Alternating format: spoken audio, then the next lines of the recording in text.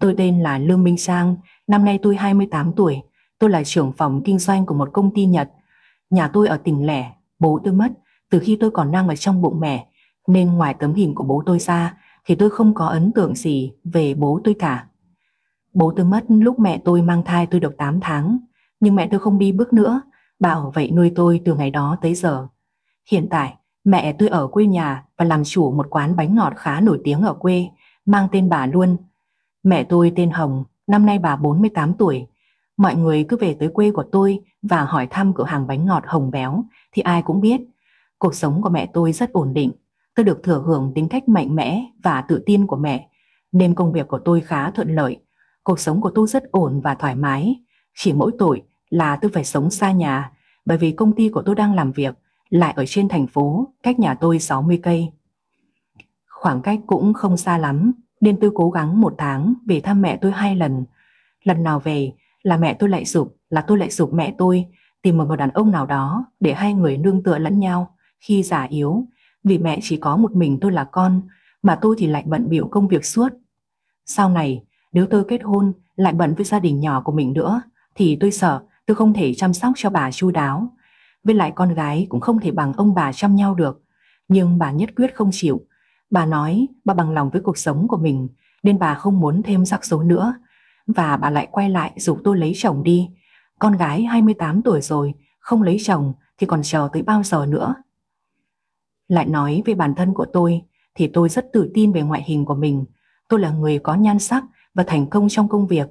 Tính tôi lại rất nhiệt tình nên tôi rất được lòng các đồng nghiệp và tôi cũng có một tình yêu đẹp như tranh vẽ mà nhiều người phải khen tỉ. Bạn trai của tôi tên là Thành, anh ấy hơn tôi 2 tuổi. Anh ấy làm bên bất động sản và cũng rất thành công trong sự nghiệp. Tôi và Thành quen nhau, ở bên nhau đã 8 năm, nhưng chúng tôi vẫn luôn dành cho nhau những tình cảm yêu thương như thuở mới yêu vậy. Chúng tôi làm gì dù là việc rất nhỏ, nhưng chúng tôi vẫn luôn hỏi ý kiến của đối phương và chúng tôi luôn dành cho nhau sự tôn trọng đặc biệt.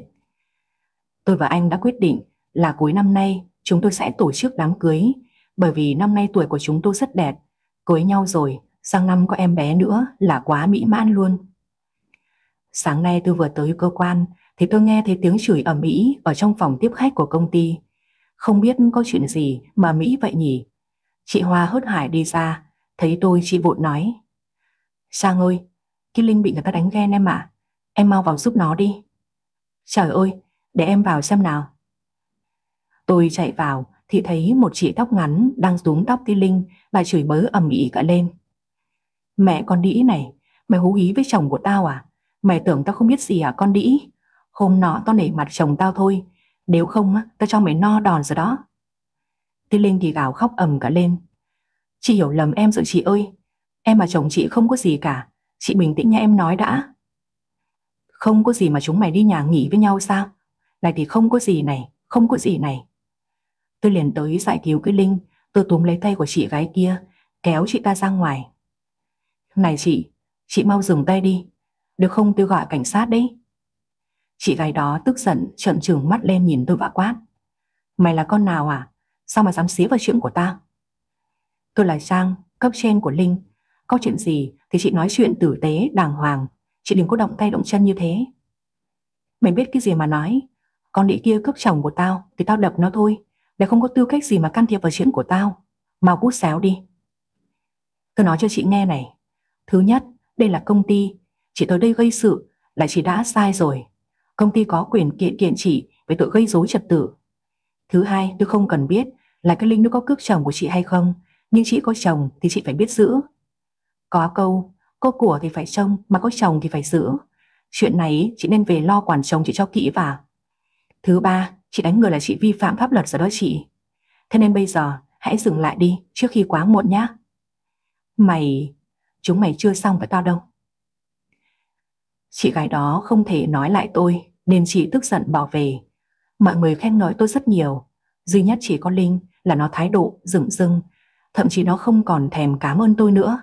Nó thản nhiên chỉnh lại tóc và đi về phòng làm việc như không có chuyện gì xảy ra. Thấy thái độ của Linh như vậy, chị Hoa liền nói. Nhìn kìa, con Linh kìa, nó không biết mở cái mồm ra mà cảm ơn sao? Tôi liền kéo tay chị Hoa và nói. Thôi kệ nó đi chị. Nhưng mà nó không biết điều em à. Nói một câu cảm ơn đối với nó khó khăn như vậy sao? Nó còn trẻ người non dạ mà chị, thôi kệ nó đi. Em sẽ tính thật đấy Trang ạ. Tôi chỉ cười và không nói gì nữa, vì lúc đó bạn trai của tôi nhắn tin cho tôi. Em yêu ơi, chiều anh đón em đi ăn nhá. Dạ vâng. Em yêu làm việc vui vẻ nhá, yêu em. Dạ, yêu anh. Thấy tôi cười tít mắt, chị Hoa mới hỏi. Nhắn tin với ai mà cười tít mắt thế? Dạ, bạn em chị ạ. À? Chị Hoa ngó vào nhìn điện thoại của tôi, rồi chị nhìn tôi với ánh mắt ngưỡng mộ.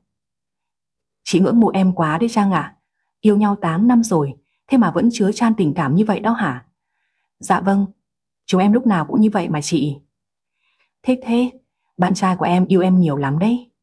Dạ vâng ạ, à, chúng em dự tính cuối năm nay sẽ tổ chức đám cưới đấy chị. Ôi thế à, chị chúc mừng hai đứa nhá. Vậy là chị và mọi người sắp được ăn cỗ cưới rồi, vui quá em ạ. Dạ vâng, em cảm ơn chị nhiều. Hết giờ làm việc, Thành lấy xe ô tô tới cổng công ty đón Sang đi ăn. Trước những ánh mắt ngưỡng mộ của mọi người, Linh đứng trên hành lang nhìn xuống, ánh mắt cô hướng nhìn theo Thành. Anh Thành vừa đẹp trai, lại vừa giàu có. Sao anh ấy lại không gặp mình nhỉ? Bà Trang có gì tốt đâu, mà sao số bà may mắn quá vậy? Công việc thì tốt, bạn trai thì giàu, lại còn được nhiều người yêu mến. Tại sao mình lại không được như bà ấy nhỉ? Mình cũng đẹp mà, mình còn trẻ hơn bà ấy 5 tuổi liền. Vậy sao đường tình duyên của mình lật đật như vậy chứ? Cứ quen ai một thời gian là sau đó lỗi ra người ta có vợ rồi. Số mình sao nó đen đủi quá vậy? Hóa ra, Hoa đi ra nhìn thấy Linh đang nhìn bạn trai của Trang không chớp mắt thì Hoa chẹp miệng nói Này em gái, sao mà người đó sắp cưới rồi đấy? Em gái đừng có mà vớ vẩn nữa. Kẻo có ngày bản thân bị hủy hoại đấy em gái à. Linh giật mình quay mặt ra chỗ khác. Chị nói vậy là có ý gì? Ý gì em tự hiểu thôi. Đàn ông trên thế giới này chết hết rồi sao? Mà em có thích đi giật chồng người khác thế? Vô của em sao khác người thế em? Chị bị điên rồi, sao chị dám nói tôi như vậy hả? Mẹ em gái đừng có kiểu đó nữa, chị không dễ tính như cái Trang đâu nhá. Cẩn thận chị cho em ăn cám luôn đó. Hoa lừa mắt cảnh cáo Linh rồi ra về. Chỉ còn một mình Linh đó ôm cục tức ở trong lòng. Cô ta tức muốn phát điên lên, nhưng phải cố nhịn. Mẹ kiếp, điên thật đấy. Đã thế bà đây cứ về bằng được. Thành chở tôi tới một nhà hàng sang trọng. Tôi thấy lạ nên hỏi anh. Anh à, hôm nay có phải là ngày gì đặc biệt đâu. Sao lại dẫn em tới đây ạ? Mình cứ vào đi rồi nói chuyện. Đồ ăn ở đây mắc lắm. Chúng ta ăn ở mấy quán chúng ta hay ăn là được rồi. Em không phải bận tâm chuyện đó đâu. Chỉ cần em ở bên anh thôi. Còn mọi thứ anh lo được mà. Dạ vâng. Một bữa tối lãng mạn, Thành đã cầu hôn tôi trước những ánh mắt của mọi người. Tôi gật đầu đồng ý, tôi rơi nước mắt vì quá hạnh phúc. Đây là kết quả mà tôi mong đợi sau 8 năm yêu nhau. Một tình yêu đẹp và long lanh như tranh vẽ vậy. Sau này chúng tôi có con, sẽ kể cho các con nghe về chuyện tình yêu của chúng tôi để các con biết bố mẹ của chúng có một tình yêu đẹp và đáng ngưỡng mộ thế nào. Trong giây phút hạnh phúc, tôi đã nghĩ ngay tới mẹ của tôi. Lát nữa sau khi về nhà trọ, tôi sẽ gọi điện và khoe với mẹ tôi rằng con gái của mẹ sẽ kết hôn trong thời gian tới. Mẹ sẽ rất vui mừng cho mẹ xem. Mẹ tôi mong cái ngày này từ lâu lắm rồi mà. Đúng như tôi nghĩ, thì nghe tôi thông báo là Thành cầu hôn tôi, thì mẹ tôi đã vui mừng. Bà hét lên nữa, khiến tôi giật cả mình. Còn tưởng bà bị sao? Sau đó bà dục tôi và Thành thu xếp cuối tuần này về nhà ăn cơm với bà nữa. Cả đêm đó tôi lâng lâng hạnh phúc và không ngủ được. Ở một diễn biến khác, tại quê nhà của Sang, bà Hồng Béo thường dạy tập thể dục từ sáng sớm.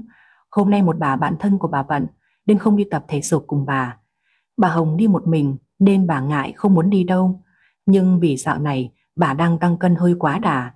Rồi bà lại nghĩ sắp tới cưới con gái rồi mà bà béo quá thì làm sao bà mặc váy được. Bà nghĩ tới cái cảnh bà mặc chiếc váy căng đét, mỡ thòi lòi ra, trông phát sợ. Nên bà lấy đó làm động lực để đi tập thể dục một mình. Bà đi ra công viên, nơi mọi ngày bà vẫn tập thể dục, thì bà thấy hôm nay sau nó vắng lặng khác thường. Bà giữ mắt nhìn lại, vẫn thấy không khí vắng lặng, không một bóng người. Lạ thế nhỉ? bạn ngày đông người thế cơ mà, sao hôm nay lại không có một ai vậy? Bà mở điện thoại ra xem đồng hồ và giật mình. Ôi là trời, 3 giờ 15 phút, Hóa ra là mình nhầm giờ rồi. Đi sớm quá nên chưa có ai ra tập thể dục là đúng rồi. Bình thường mình phải 5 giờ mới đi. Hôm nay đi từ 3 giờ sáng thì chẳng vậy. Không lẽ nghe cái trang thông báo sắp kết hôn, mình mừng quá nên mình ngáo luôn rồi. Bà Hồng béo ngồi xuống ghế đá và cười một mình.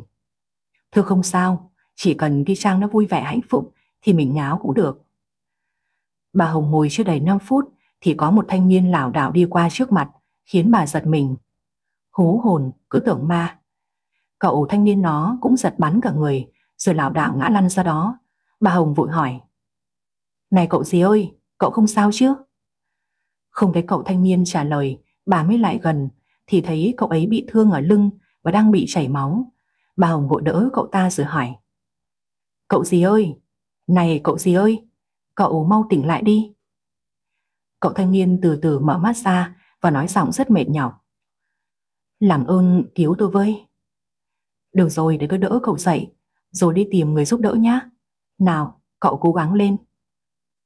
Hơn 3 giờ sáng, nhà nào nhà nấy khóa cửa kín mít. Bà Hồng không biết nhờ ai nên bà đưa cậu thanh niên đó về nhà của mình. Bà băng vết thương rồi cho cậu thanh niên ấy ăn cháo, uống sữa. Lên tới khi trời sáng là cậu thanh niên đã tỉnh lại. Lúc này bà Hồng mới ngồi xuống trò chuyện cùng với cậu ta. Cậu thấy trong người thế nào rồi?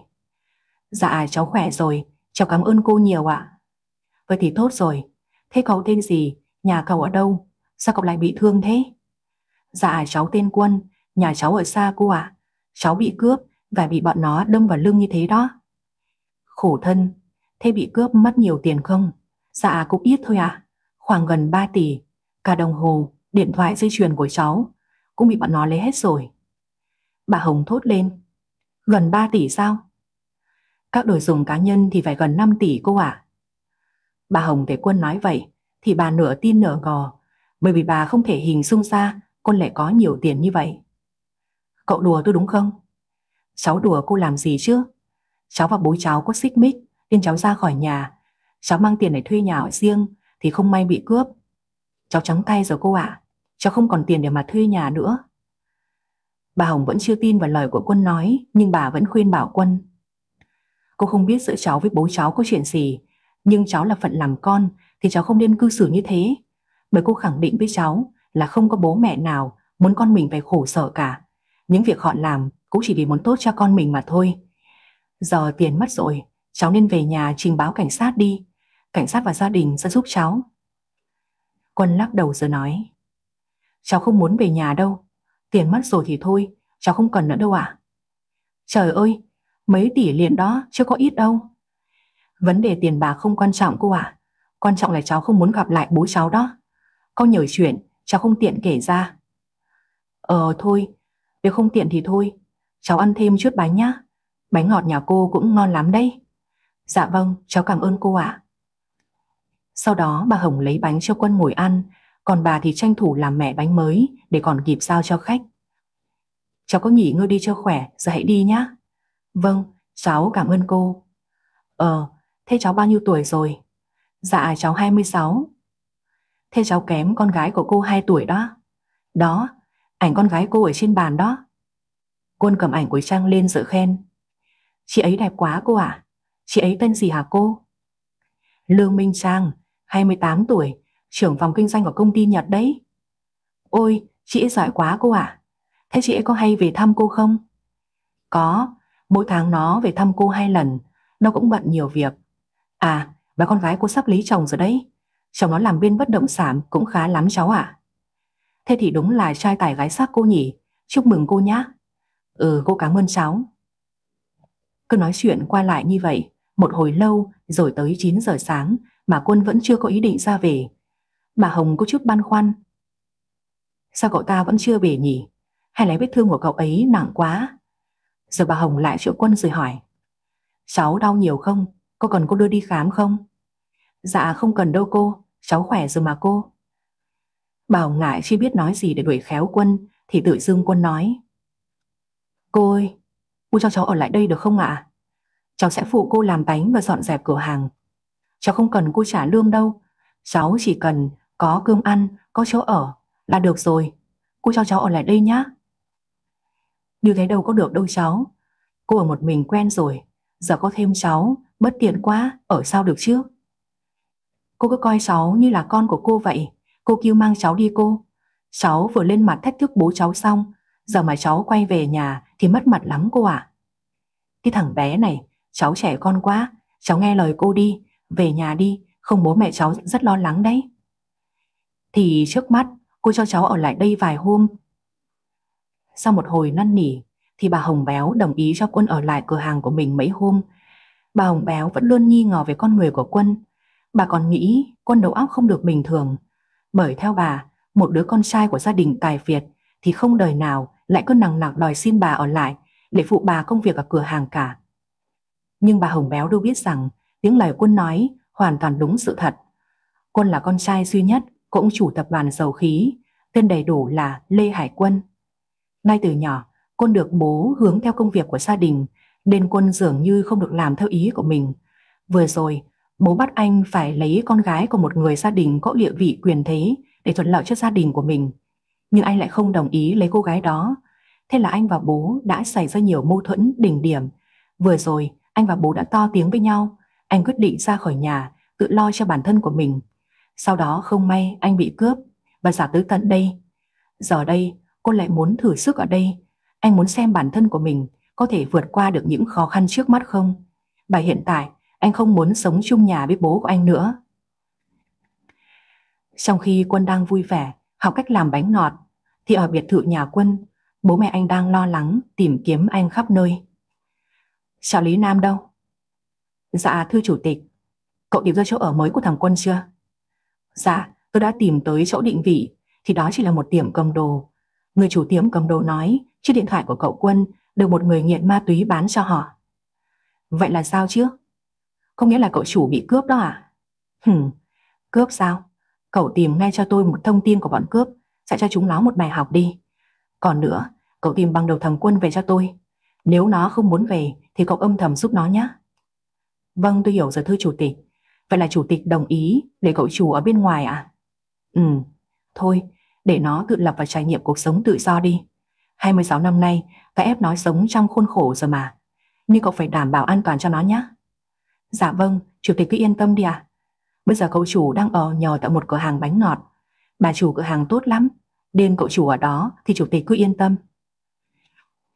Cậu nắm rõ tình hình của thằng Quân rồi sao?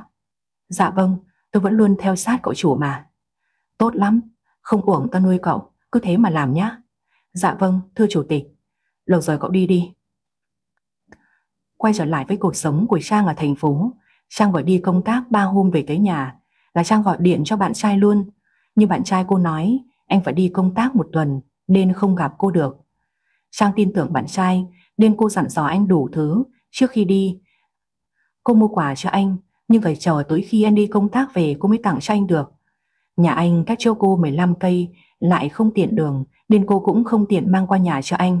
Nên cô quyết định đợi anh đi công tác về rồi gặp nhau cô tặng quà cho anh luôn một thể. Đáng lẽ mọi chuyện vẫn sẽ êm đềm nếu Trang không đi chơi cùng bạn gần khu nhà bạn trai. Lúc đó Trang mới biết mình đã mọc sừng từ lúc nào mà cô không hề hay biết. Tôi nằm trong phòng cả ngày. Tôi thấy mệt mỏi người quá nên ngồi dậy và đi lại cho đỡ mỏi. Bạn trai của tôi đi công tác nên một mình tôi cảm thấy buồn và cô đơn quá.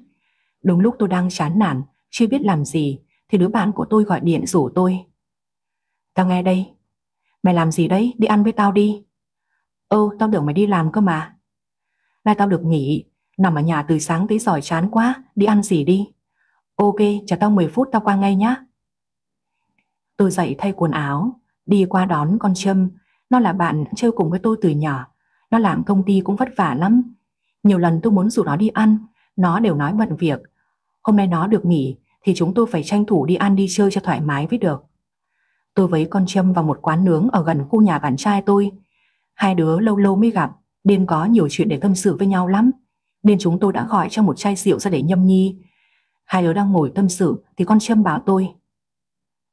Ai kia như thành bạn trai của mày đấy Trang ạ? Mẹ tào lao, anh đi công tác rồi, chủ nhật mới về nhá. Kìa, mày nhìn mà xem. Tao sai đấy, nhưng mà tao vẫn nhận ra bạn trai của mày đấy nhá.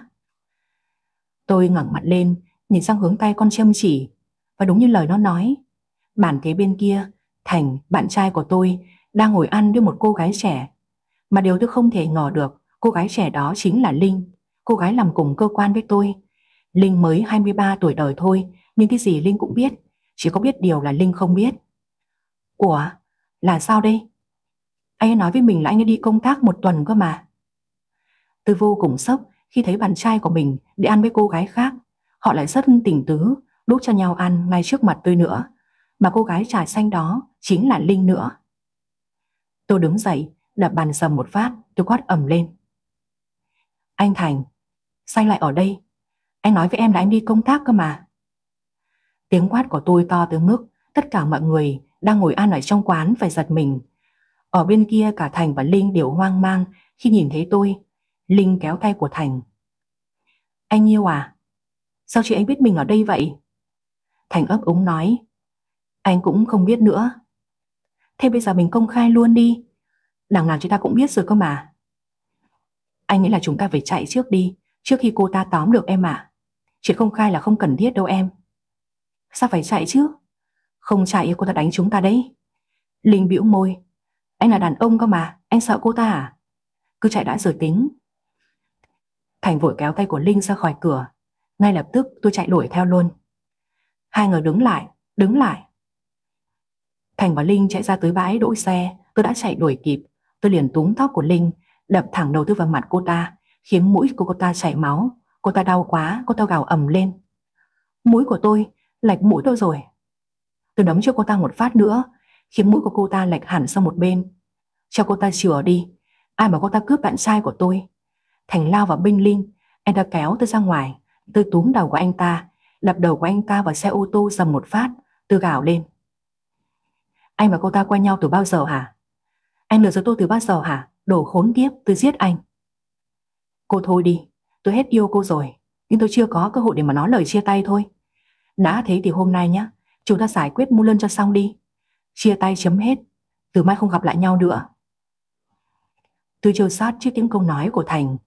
Anh ấy nói anh ấy hết yêu tôi rồi, chỉ là anh ta chưa có cơ hội để chia tay tôi thôi. Anh bảo là anh hết yêu rồi sao? Tình yêu 8 năm của chúng ta bây giờ anh đạp đổ hết sao? 8 năm hay là 10 năm ấy thì hết tình cảm rồi, cũng chia tay thôi. Tôi yêu Linh, tôi muốn ở bên cạnh cô ấy. Giờ cô biết rồi đấy, cô đừng làm phiền tôi nữa. Bà tôi xin cô đừng làm khó Linh. Tình yêu không có lỗi, lỗi là do chúng ta hết duyên thôi. Anh và cô ta quen nhau sau lưng tôi bao giờ hả? Cũng mới thôi, chúng tôi quen nhau mới có 2 tháng, nhưng tôi yêu cô ấy và tôi không thể sống thiếu cô ấy được. Mẹ kiếp, tình yêu 8 năm không bằng tình yêu 2 tháng. Anh là cái loại khốn nạn đấy Thành ạ. Anh có biết con Linh nó lăng nhăng thế nào không hả? Thế mà anh vẫn còn đâm đầu vào nó là sao? Cô im đi, tôi yêu Linh rồi. Cô đừng cố nói xấu Linh nữa. Giờ cô đi đi, từ nay về sau tôi không muốn gặp lại cô nữa. Linh gọi Thành. Anh ơi, mau lại giúp em đi. Thành vội vàng chạy lại dỗ người yêu. Anh đây, chết rồi, mũi em lệch rồi đấy Linh à. Mũi em mới làm được có mấy tháng, giờ bị chị ta đánh thế này, còn gì là mũi nữa chứ. Để anh đưa em đi viện nhá. Thành mới Linh lên xe ô tô và chở cô ta đi thẳng tới bệnh viện. Tôi đứng đó nhìn theo xe ô tô mà lòng đau quặn lại.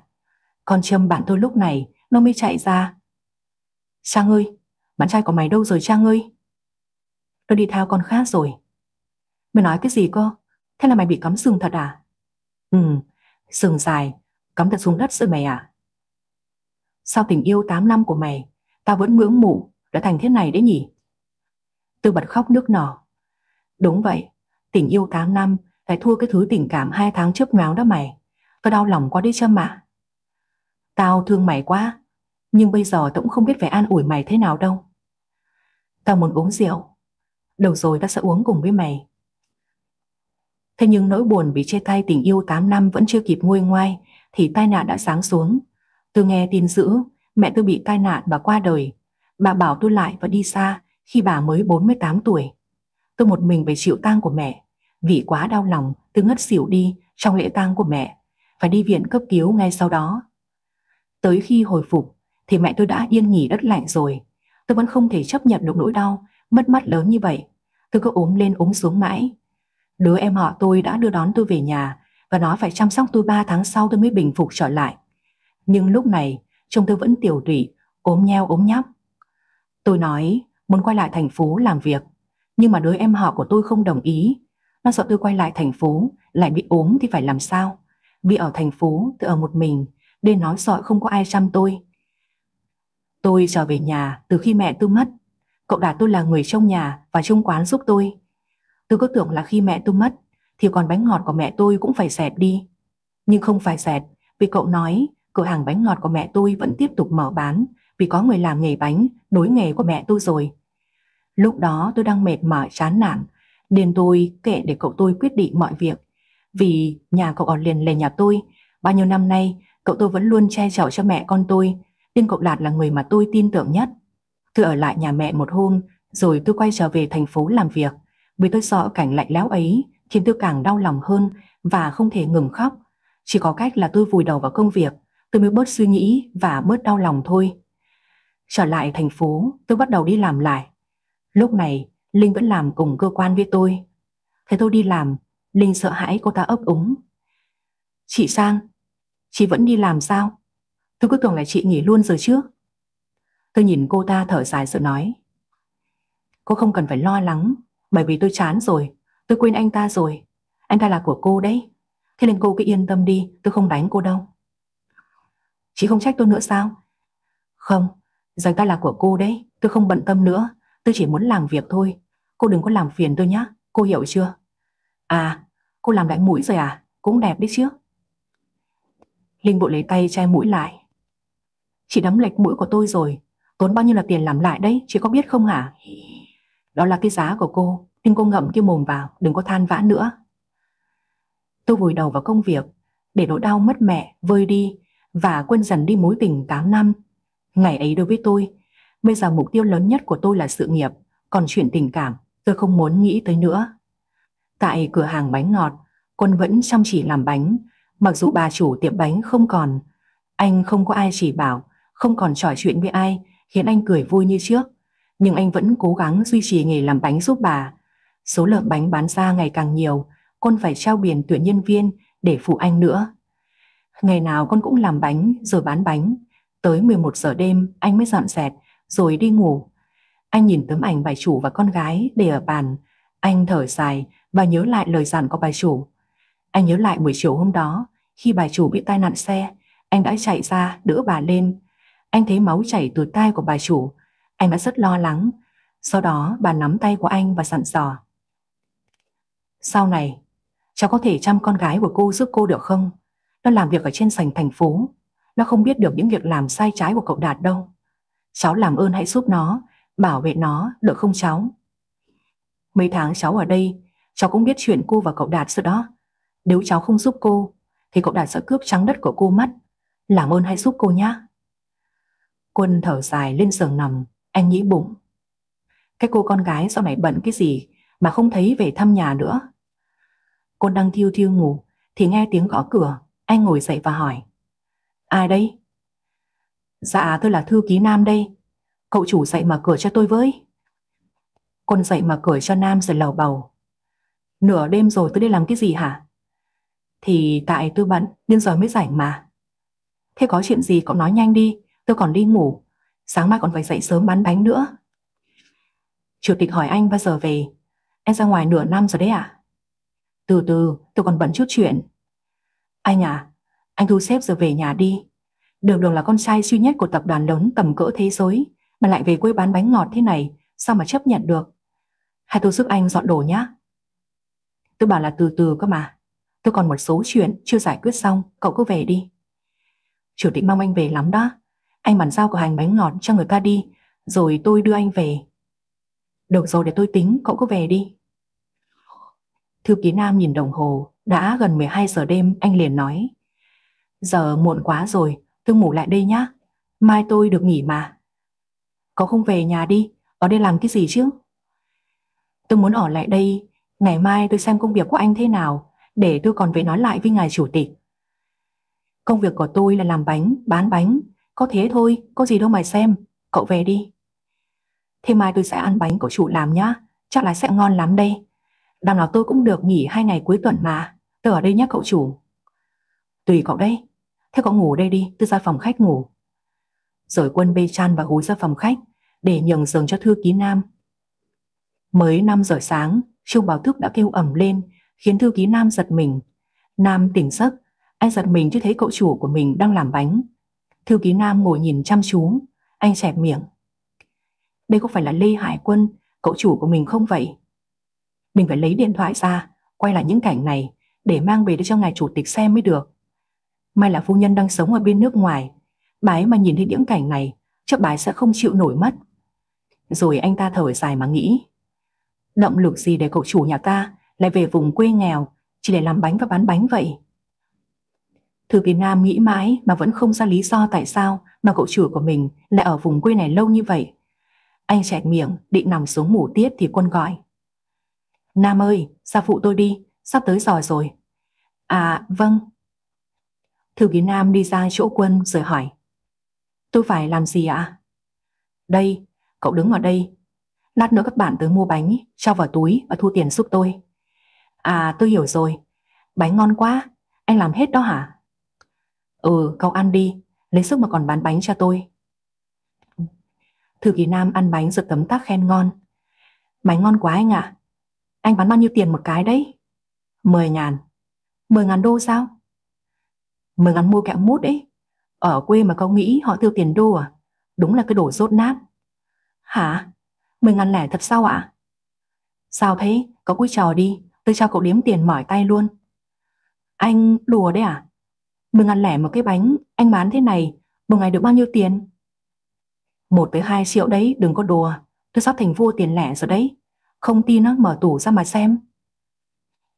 Thư ký Nam còn ngây người ra, chưa hiểu vấn đề gì, thì lúc này đến giờ trai con đi học về và bắt đầu tới giờ bán hàng đây. Tới giờ rồi đấy, bán bánh thôi. Chỉ một lúc sau, Thiêu ký Nam bắt đầu ngạc nhiên. Anh không nghĩ bánh cậu chủ của anh làm ra đắt hàng như vậy. Cứ ra mẻ nào là hết mẻ đấy. Hộp tiền cứ đầy áp tiền lẻ.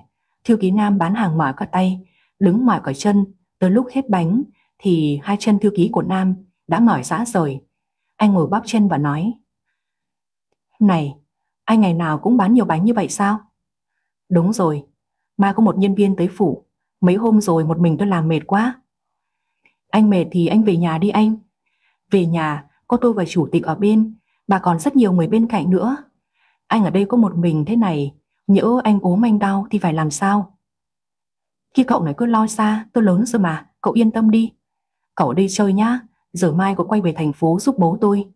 Còn tôi còn vài chuyện chưa giải quyết xong khi nào xong tôi quay trở về sau. Anh Quân à Sao anh có vẻ ở đây chịu khổ như vậy chứ? Khổ là khổ thế nào? Cậu nhìn đi, Tôi kiếm được tiền triệu mỗi ngày đấy. Nào, cậu đếm tiền đi. Cứ 100 ngàn thì kẹp lại cho tôi. Thư ký Nam bê hộp tiền lẻ và đếm. Chưa bao giờ anh thấy nhiều tiền lẻ 10 ngàn và 20 ngàn như thế. Hôm qua trước khi đi, Ngài chủ tịch đã dặn dò, Anh phải ở lại đây mấy hôm để cố thuyết phục quân quay về. Nhà anh thấy quân nhất quyết không về cùng. Anh biết phải ăn nói thế nào với ngài chủ tịch bây giờ. Anh ngồi đếm tiền, Đầu óc cứ lơ lửng trên mây. Cuối cùng thì anh quyết định ở lại đây thêm một ngày nữa, Để xem có thể lây truyền được cậu chủ của mình quay về hay không. Tôi đang ngồi làm việc trong phòng, Thì chị Hoa đi vào và nói, Sang, Em đuổi việc con Linh đi. Chị nhìn nó ngứa mắt không chịu được ý. Có chuyện gì vậy chị? Nó vừa khoe, Thằng Thành muốn nhẫn kim cương cho nó đấy. Cầu hôn nó rồi. Mặt nó hả hê như kiểu là Nó muốn khoe khoang cho em tức đấy. Nó khốn nạn như thế, Nó cướp bạn trai 8 năm của em đấy. Thế sao còn để nó làm việc ở đây vậy hả? Em có phải giám đốc đâu chị? Sao mà em đuổi việc được cô ta chứ? Với lại chuyện qua lâu rồi. Giờ họ yêu nhau, Họ muốn khoe gì chả được. Chị cứ kệ họ đi, Đừng muộn tâm làm gì cho mệt đầu ra. Sang à Em là trưởng phòng, Chỉ cần em nói một câu, Nó bị đuổi việc ngay mà. Em cứ để nó suốt ngày khoe mẽ như thế, Chọc tức em như thế sao? Chị cứ kệ nó đi. Nó khoe thì kệ nó chị ạ. Bây giờ em bận nhiều việc lắm, Không hơi đâu mà bận tâm đến nó được. Chị báo tay với em rồi đấy, Chưa thấy ai như em đâu. Tôi chỉ cười cho qua mọi chuyện. Tuy rằng ngoài miệng nói là không sao, Nhưng tôi biết trái tim của mình đang dỉ máu. Cũng phải thôi, Mối tình 8 năm mà, Đâu phải 8 tháng đâu Mà có thể nói quên là quên ngay được chứ. Hết giờ làm Tôi đi ăn quán quen ngày xưa tôi và Thành hay ngồi ăn cùng với nhau. Ký ức cứ ùa về, tôi buồn quá, tôi bắt đầu uống rượu. Mà uống rượu vào tôi lại càng thấy buồn hơn. Mà càng buồn tôi lại càng uống nhiều. Tôi uống nhiều tới mức tôi say luôn.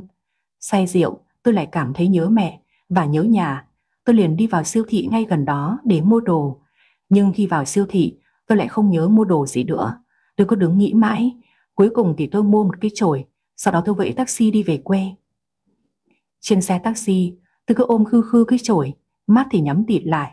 Về tới quê, tôi lững thững đi về nhà Và vẫn không quên vác cái chổi trên vai. Tôi lấy chìa khóa mở cửa đi vào nhà. Tôi sợ mãi không thấy công tắc điện đâu cả.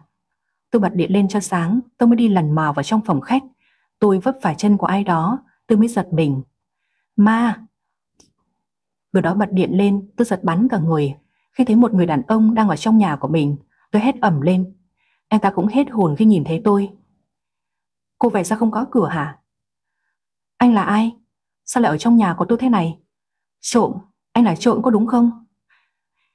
Anh ta vội chạy lên bịt miệng tôi lại và nói, Cô có im đi không hả? Tôi không phải là trộm, Cô mới là trộm ấy. Đây là nhà của tôi cơ mà, Rốt cọ thì anh là ai? Tôi là chủ cái nhà này, Chủ cái cửa hàng bán bánh này. Cái gì cơ? Anh là ai? Sao anh dám nhận anh là chủ hả? Tôi và anh ta còn đang đôi co Thì lại thêm một người đàn ông nữa Ở trong nhà của tôi. Anh ta ở trong phòng đi ra nói giọng ngái ngủ. Có chuyện gì mà ồn ào thế cậu chủ?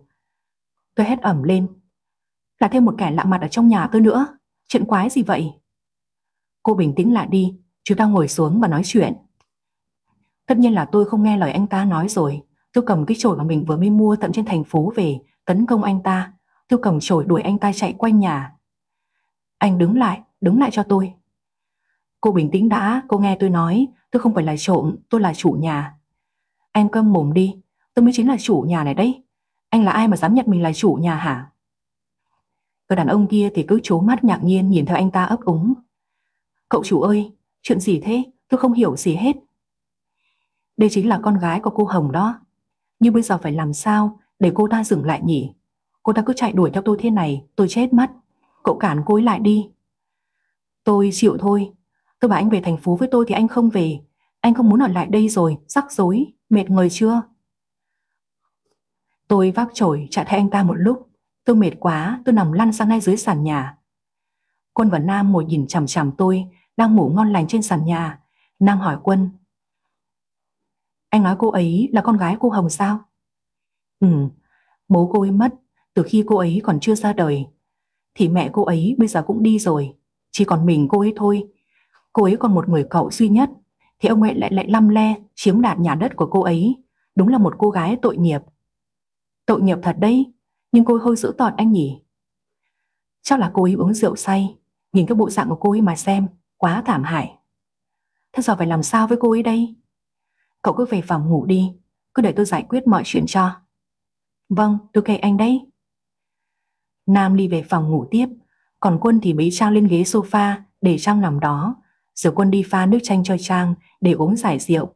Cả đêm đó cũng chính Quân là người chăm sóc Trang Khi cô say rượu, Không biết trời đất gì nữa. Ánh nắng dọi thẳng vào mắt Khiến tôi tỉnh giấc.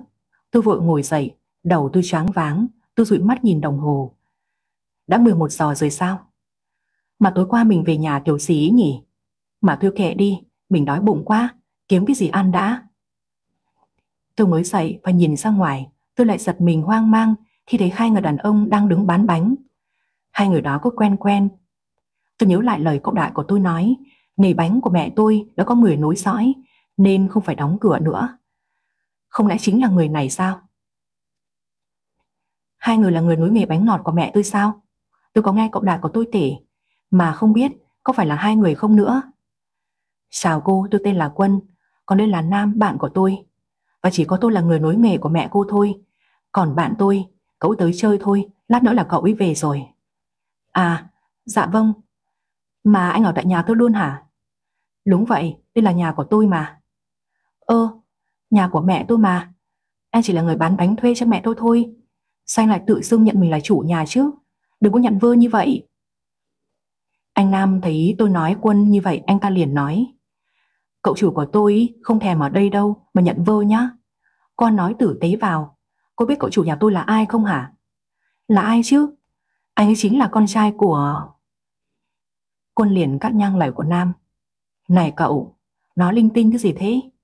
Tôi là con của người chạy xe ôm thôi, có gì đáng để khoe đâu chứ? Anh à, rõ ràng là... Giờ cậu về đi, nói chuyện sau nhá, mau đi về đi.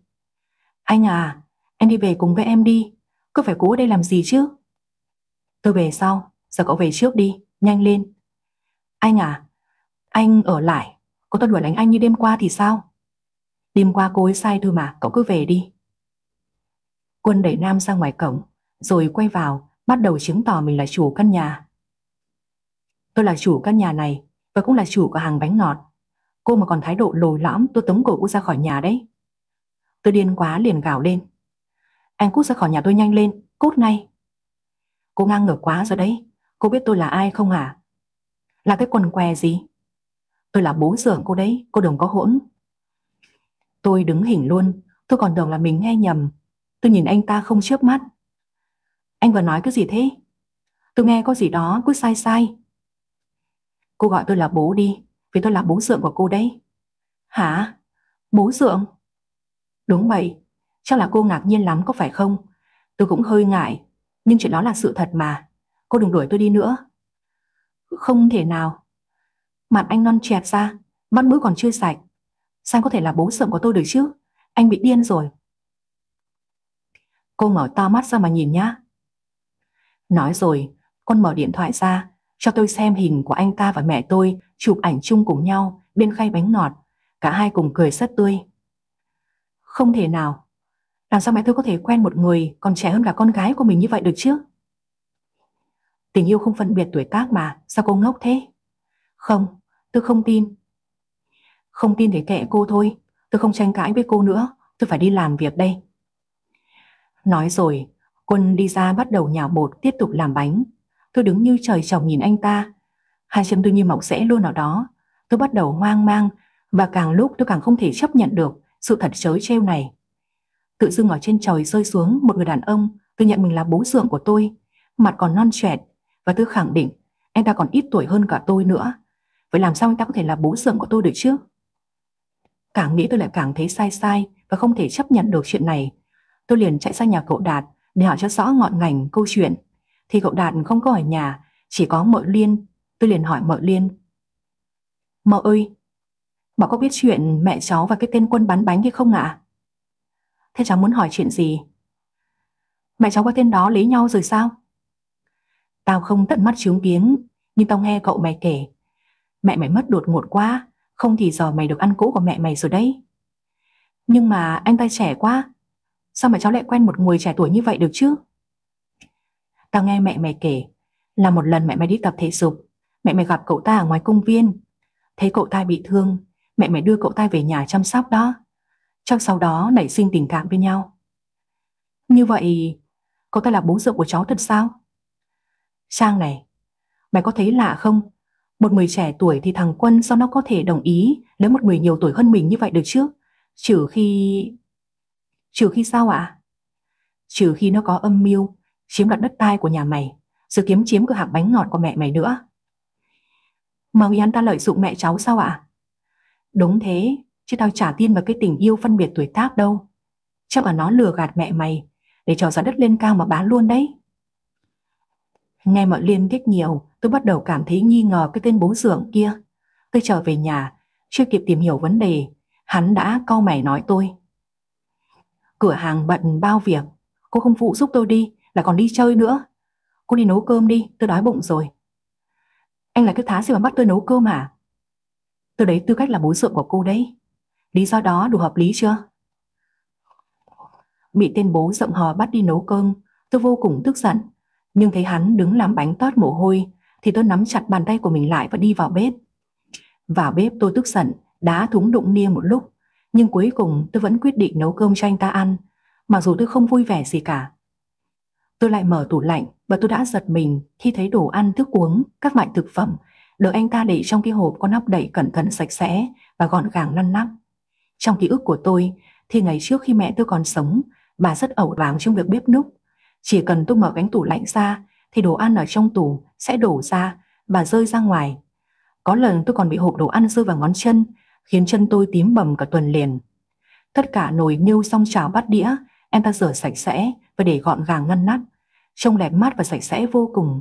Hình ảnh hoàn toàn đối lập với những gì mà ngày trước mẹ tôi vẫn để. Tôi còn phải thốt lên, sao anh ta có thể gọn gàng, ngăn nắp như vậy chứ? Tôi chợt nghĩ, nếu anh ta có mục đích lừa đảo, chắc là anh ta sẽ không dọn dẹp nhà cửa của tôi gọn gàng đến vậy. Sau đó tôi thở dài và nấu một mâm cơm ngon. Một lúc sau, cơm canh chín tôi với anh ta. Này, và ăn cơm đi. Con nói với bố Sượng như vậy sao? Này, cô này với ai thế hả? Tôi vừng vàng nói. Tôi vẫn không thể quen với chuyện đó. Tôi cảm thấy cứ sao sao ấy. Sao với răng cái gì? Tôi thấy không quen. Tôi có thể không gọi anh là bố được không? Anh thông cảm nhá. Khi không có ai, thì cô có thể không gọi tôi là bố. Nhưng khi có người thì cô phải gọi. Cô rõ chưa? Đó là sự tôn trọng đấy, cô có hiểu không hả? Tôi kém cô 2 tuổi thật, nhưng cứ theo vai vế mà gọi đi. Tuổi tác quan trọng gì? Tôi biết rồi, anh cảm giảm y chang mẹ tôi vậy. Nhìn mâm cơm thị sản, anh ta gật đầu. Cũng đảm đang lắm, lấy chồng được rồi đấy. Sở quân mỉm cười, tôi bực quá gắt lên. Anh cười cái gì hả? Tôi đang nghĩ sau này tôi sẽ là người gả chồng cho cô. Nghĩ buồn cười thật đấy. Anh mơ à? Mẹ tôi mất rồi nhưng mà tôi còn cậu Đạt. Anh nghĩ có thể gả chồng cho tôi được sao? Lúc này quân mới thở dài rồi nói. Cô đừng tin lời ông Đạt. Ông ấy không tốt như cô nghĩ đâu. Bây giờ ở đây, người đáng tin nhất là tôi đấy. Tôi chép miệng rồi nói. Tin anh sao? Anh bị điên rồi. Cậu ruột của tôi mà tôi không tin. Tôi đi tin một người ngoài như anh sao? Đúng vậy. Ông ta lập kế hoạch chiếm tài sản của mẹ cô đấy. Lúc mẹ tôi cô còn sống, má dặn tôi hãy chăm sóc cô giúp bà ấy. Vì thế cô hãy tin tôi đi, tôi sẽ giữ tài sản giúp cô và sẽ bảo vệ cô. Đứa gì anh nói là thật sao? Làm sao để tôi tin anh được chứ? Tôi biết là cô sẽ không tin, nhưng mà tôi nói là sự thật đấy. Vì cô bận việc trên thành phố, nên mẹ cô cũng không muốn nói cho cô biết. Bà không muốn cô phải lo lắng, nên bà chỉ nói với tôi thôi. Những lời quân nói khiến tôi phải suy nghĩ, nhưng tôi vẫn không thể tin hoàn toàn được. Bởi vì cậu Đạt là cậu ruột của tôi. Ba năm nay tôi vẫn tin tưởng cậu ấy. Đâu vì mấy câu nói của người xa lạ mà có thể chia cắt được tình cảm của cậu cháu chứ. Tôi và Quân đang ăn cơm thì thầy người yêu cũ của tôi tới tìm tôi. May quá gặp cô ở đây rồi. Anh có chuyện gì thế? Tôi tới gặp ông Đạt, nhưng ông ấy bỏ đi đâu mất rồi đấy. Anh tình có tôi làm gì? Ông ấy mượn tiền của tôi từ cái thời mà chúng ta còn yêu nhau đó.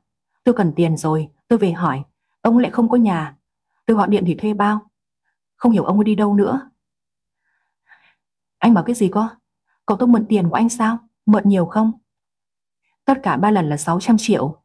Lúc đó còn yêu nhau nhưng tôi không tiếc. Nhưng mà bây giờ tôi đang gặp chút khó khăn về công việc. Tôi cần tiền gấp. Nếu anh ấy không trả được thì cô trả giúp ông ấy đi. 600 triệu sao? Tôi làm gì có? Mà sao cậu của tôi lại mượn tiền anh nhiều như vậy chứ? Tôi nghe vợ ông ấy nói là ông ấy bập vào lô đề cờ bạc, nợ nần nhiều lắm. Trước là vì tôi nể cô nên tôi mới cho ông ấy vay. Bây giờ ông ấy không trả được thì cô phải trả chứ. Xanh vô lý thế hả? Cậu tôi mượn tiền của anh chứ không phải là tôi mượn đâu. Thì tôi nể cô tôi mới cho ông ta mượn thôi. Giờ cô phải có trách nhiệm trả chứ. Tôi không thể tin được một người hiền lành như cậu Đạt đã có thể chơi lô đề cờ bạc như thế được chứ. Nhưng ngày hôm nay Thành về đòi nợ thì tôi bắt đầu có linh cảm. Quân nói đúng, vì cậu tôi chơi lô đề cờ bạc nên cậu ấy mới tìm cách chiếm đoạt đất của mẹ tôi. Ngay lập tức tôi lấy tiền trả cho anh ta vì tôi không muốn dây dưa gì với anh ta nữa. Nhưng mà tôi không đủ tiền mặt, tôi mới hỏi anh ta. Tôi chuyển khoản nhá, tiền mặt tôi không đủ. Tài khoản của tôi bị khóa rồi, tôi cần tiền mặt. Tôi liền quay ra hỏi Quân. Quân à, cho tôi mượn tiền được không? Quân e hẻm ra hiệu tôi phải gọi anh ta là bố. Con cần tiền mặt hả Trang? Con lại quên lời bố dặn rồi sao? Tôi cười gượng gạo. Vâng, bố cho con mượn tiền được không ạ? Bây giờ ấy, 600 triệu tiền mặt thì không có đâu. Vậy chiều mai đi, chiều mai sẽ có tiền mặt. Giờ tôi và Quân hẹn Thành tới chiều mai. Khi Thành tới, chúng tôi sẽ trả cho Thành 600 triệu. Và từ nay về sau, chúng tôi sẽ không bao giờ gặp lại nhau nữa. Thế nhưng Thành không muốn về ra về, anh ta cứ ngồi lì ở đó và nói Sang à, cô lại đi tôi vào đây. Chuyện gì vậy? Ở đâu là danh ta vậy? À đó là Quân, bố dượng của tôi. Cái gì? Anh ta là bố dượng của cô sao? Đúng thế. Sao có thể như thế được chứ? Anh ta nhìn trẻ quá. Tôi cũng không biết nữa. Tôi làm việc ở trên thành phố. Tôi cũng chẳng biết mẹ tôi lấy Quân từ khi nào nữa. Cô phải tỉnh táo nhìn nhận mọi việc đi. Chắc chắn là anh ta có âm mưu gì đó đấy. Chứ một người vừa trẻ và đẹp như anh ta không lý do gì đến mẹ của cô đâu. Anh trai mẹ tôi già sao? Mẹ tôi mới có 48 tuổi thôi bà vẫn trẻ mà. Tôi nghĩ rồi, phải có lý do gì đó anh ta mới chấp nhận lấy mẹ của cô. Thôi, anh đừng nói nữa, giờ mẹ tôi mất rồi. Tôi lo cho cô thôi, tôi sợ cho cô nữa đấy. Tôi bật cười và nói Người yêu cũ ơi, anh bị cái gì thế? Anh về mà chăm lo cho em Linh của anh đi, đừng có mà đây mà lải nhải nữa. Tôi lo cho cô thôi, tôi sợ anh ta lừa cô, cô phải tỉnh táo mà nhìn nhận mọi việc chứ. Thành cứ ngồi lại nhảy bên tai của tôi, tôi chán chẳng muốn nghe nữa, nhưng anh ta cứ nói mãi. Con đứng làm bánh ở bên ngoài, liếc mắt nhìn vào trong rồi lầu lầu. Người yêu cũ kiểu gì mà cứ ngồi nói xấu bố dượng của con gái thế? Không lẽ anh ta đang tiếc nuối vì đã bỏ Trang để chạy theo cô khác sao? Đã vậy, mình phải vào đá xéo anh ta vài câu mới được. Con đi vào ngồi cạnh Thành và hỏi. Tôi có thủ án gì với anh, may nói xấu tôi nhiều quá vậy. Dù sao tôi cũng, tôi cũng là bố dượng của Trang cơ mà. Anh vứt mặt thì cũng phải nể mũi chứ. Thế anh cứ tới nhà bạn gái lại nhận nói xấu phụ huynh của bạn gái thế sao? Thành ngại quá ngập ngừng nói. Đâu, tôi có nói gì đâu. Quân vỗ vai Thành rồi nói. Anh cứ yên tâm mà về đi. 5 giờ chiều mai qua đây, tôi trả cho anh 600 triệu tiền mặt. Tôi nói rồi, tôi là bố dưỡng của Trang, tôi chịu trách nhiệm với Trang. Cậu đi về đi, làm phiền con gái tôi ít thôi. Kẻo tôi mà cọc tính lên, tôi đấm đấy. Lúc đó lại bảo tại sao không nói trước. Thành vội vàng đứng dậy đi về, tôi ngồi thở dài và nói. Thế mai anh trả cho anh ta 600 triệu thật sao? Ừ, nói được phải làm được chứ.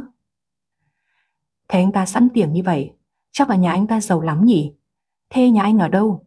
Sao quen mẹ tôi vậy? Cô lại bắt đầu điều tra về tôi đó hả? Tôi nói rồi tôi là người đáng tin nên cô cứ yên tâm đi. Lý lịch về tôi cô không cần phải bận tâm đâu. Thôi tôi ra làm bánh tiếp đây. Tôi ngồi nhìn anh ta làm bánh mà tôi thấy tò mò lắm. Rốt cuộc anh ta là ai, từ đâu tới? Tại sao anh ta lại trở thành bố dưỡng của tôi như vậy? Vì quá tò mò, tôi chạy vào phòng của anh ta để kiểm tra xem có thông tin gì về anh ta không. Tôi lẻn vào phòng của bố dưỡng và mở tủ ra để tìm kiếm xem có chút thông tin gì đó về người bố dưỡng trẻ tuổi của tôi không. Nhưng tôi không thấy gì cả. Trong tủ quần áo cũng không có gì. Anh ta là ai nhỉ? Sao mình không thấy bất cứ thông tin gì về anh ta vậy? Không lẽ anh ta ở trên trời rơi xuống ư?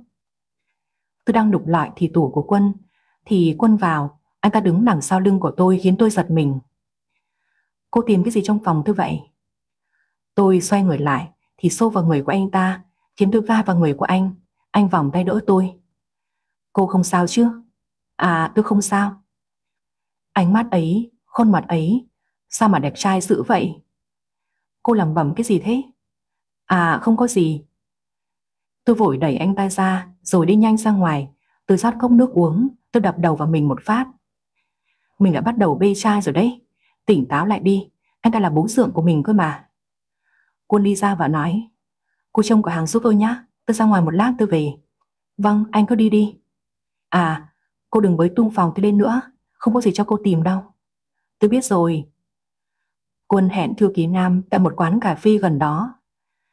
Anh cần tiền mặt làm gì vậy ạ? À? Tôi có việc cần tiền mặt. Vâng, đây là 600 triệu. Anh có cần thêm không ạ? Tạm thời không cần, thôi cậu về đi. Anh Quân à, có phải là anh lấy tiền giúp cô gái ngang ngược đó không? À, cô ấy cần tiền mặt nên tôi giúp thôi. Không có gì đâu, đừng bận tâm nhá. Tôi cảm thấy anh càng ngày càng lún sâu vào gia đình đó rồi đấy. Trước thì anh giúp mẹ cô ta, bây giờ thì anh giúp cô ta. Sao anh cứ tự làm khổ mình như vậy chứ?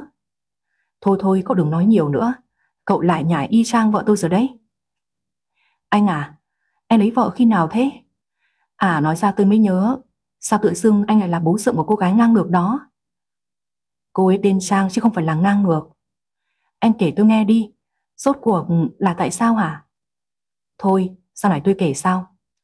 Anh à, sang tháng phu nhân về nước đó, anh không thể giấu phu nhân được nữa đâu. Tôi lại càng không giúp anh được. Anh quay về nhà sớm đi. Mẹ tôi về chơi hay làm gì thế?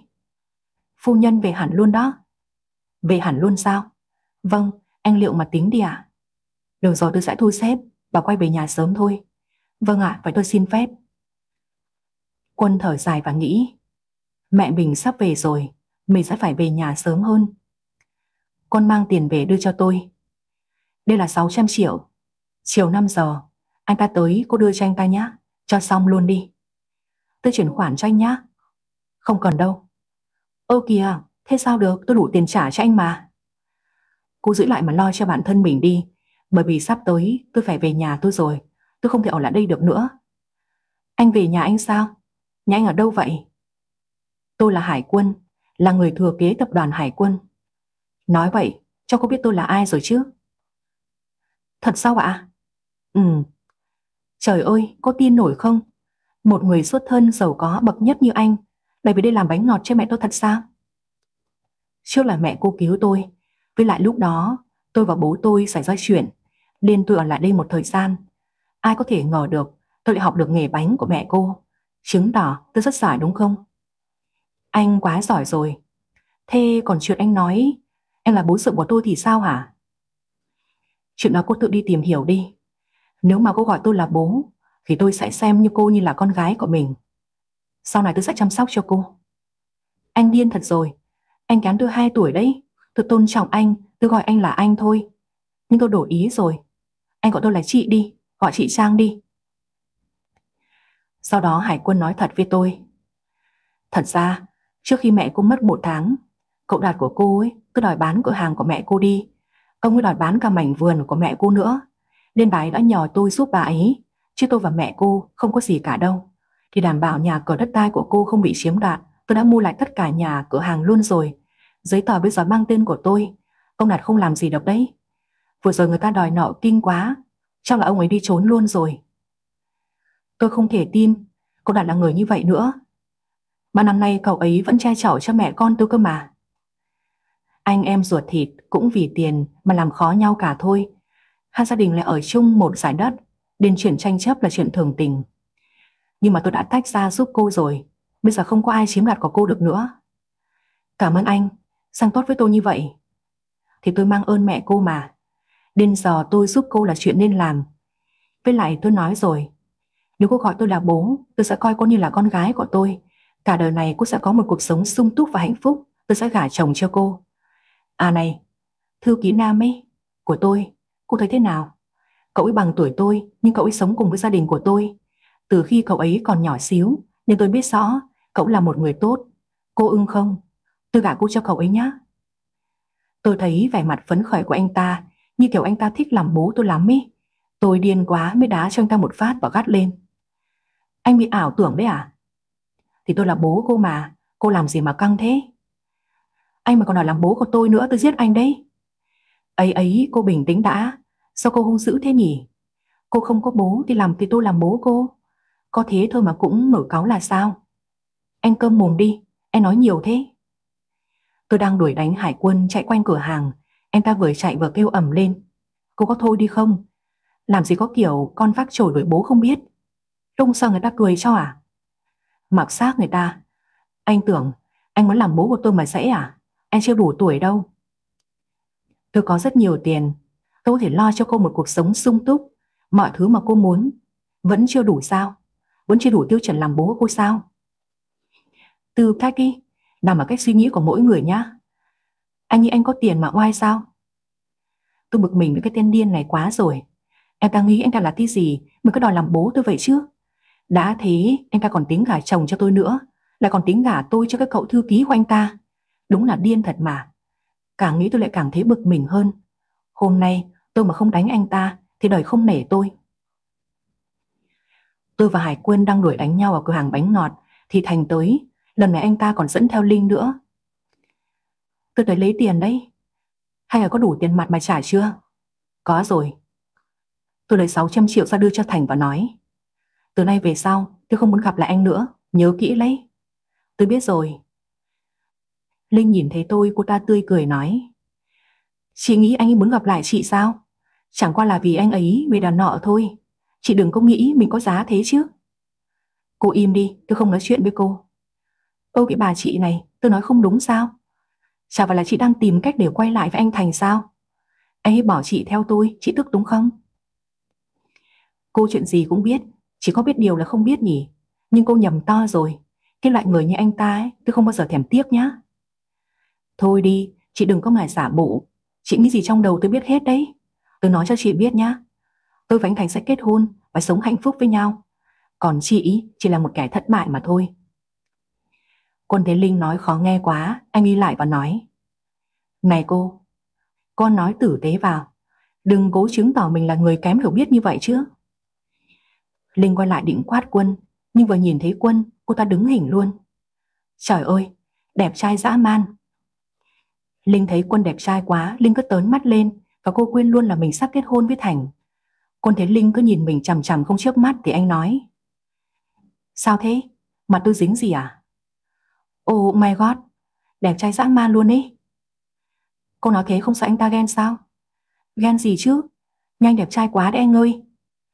Con gái và tai Linh nói nhỏ. Tôi còn nhiều thứ khác đẹp hơn đấy.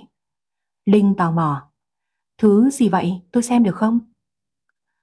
Xem ở đây có mật lộ hết à? Hôm nào chỉ có hai chúng ta, tôi cho cô xem.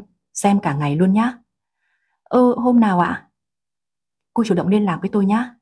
Số điện thoại còi trước biển hiệu đấy. Thấy Linh cứ tơm tớp như thế, tôi liền vỗ vai Thành và nói.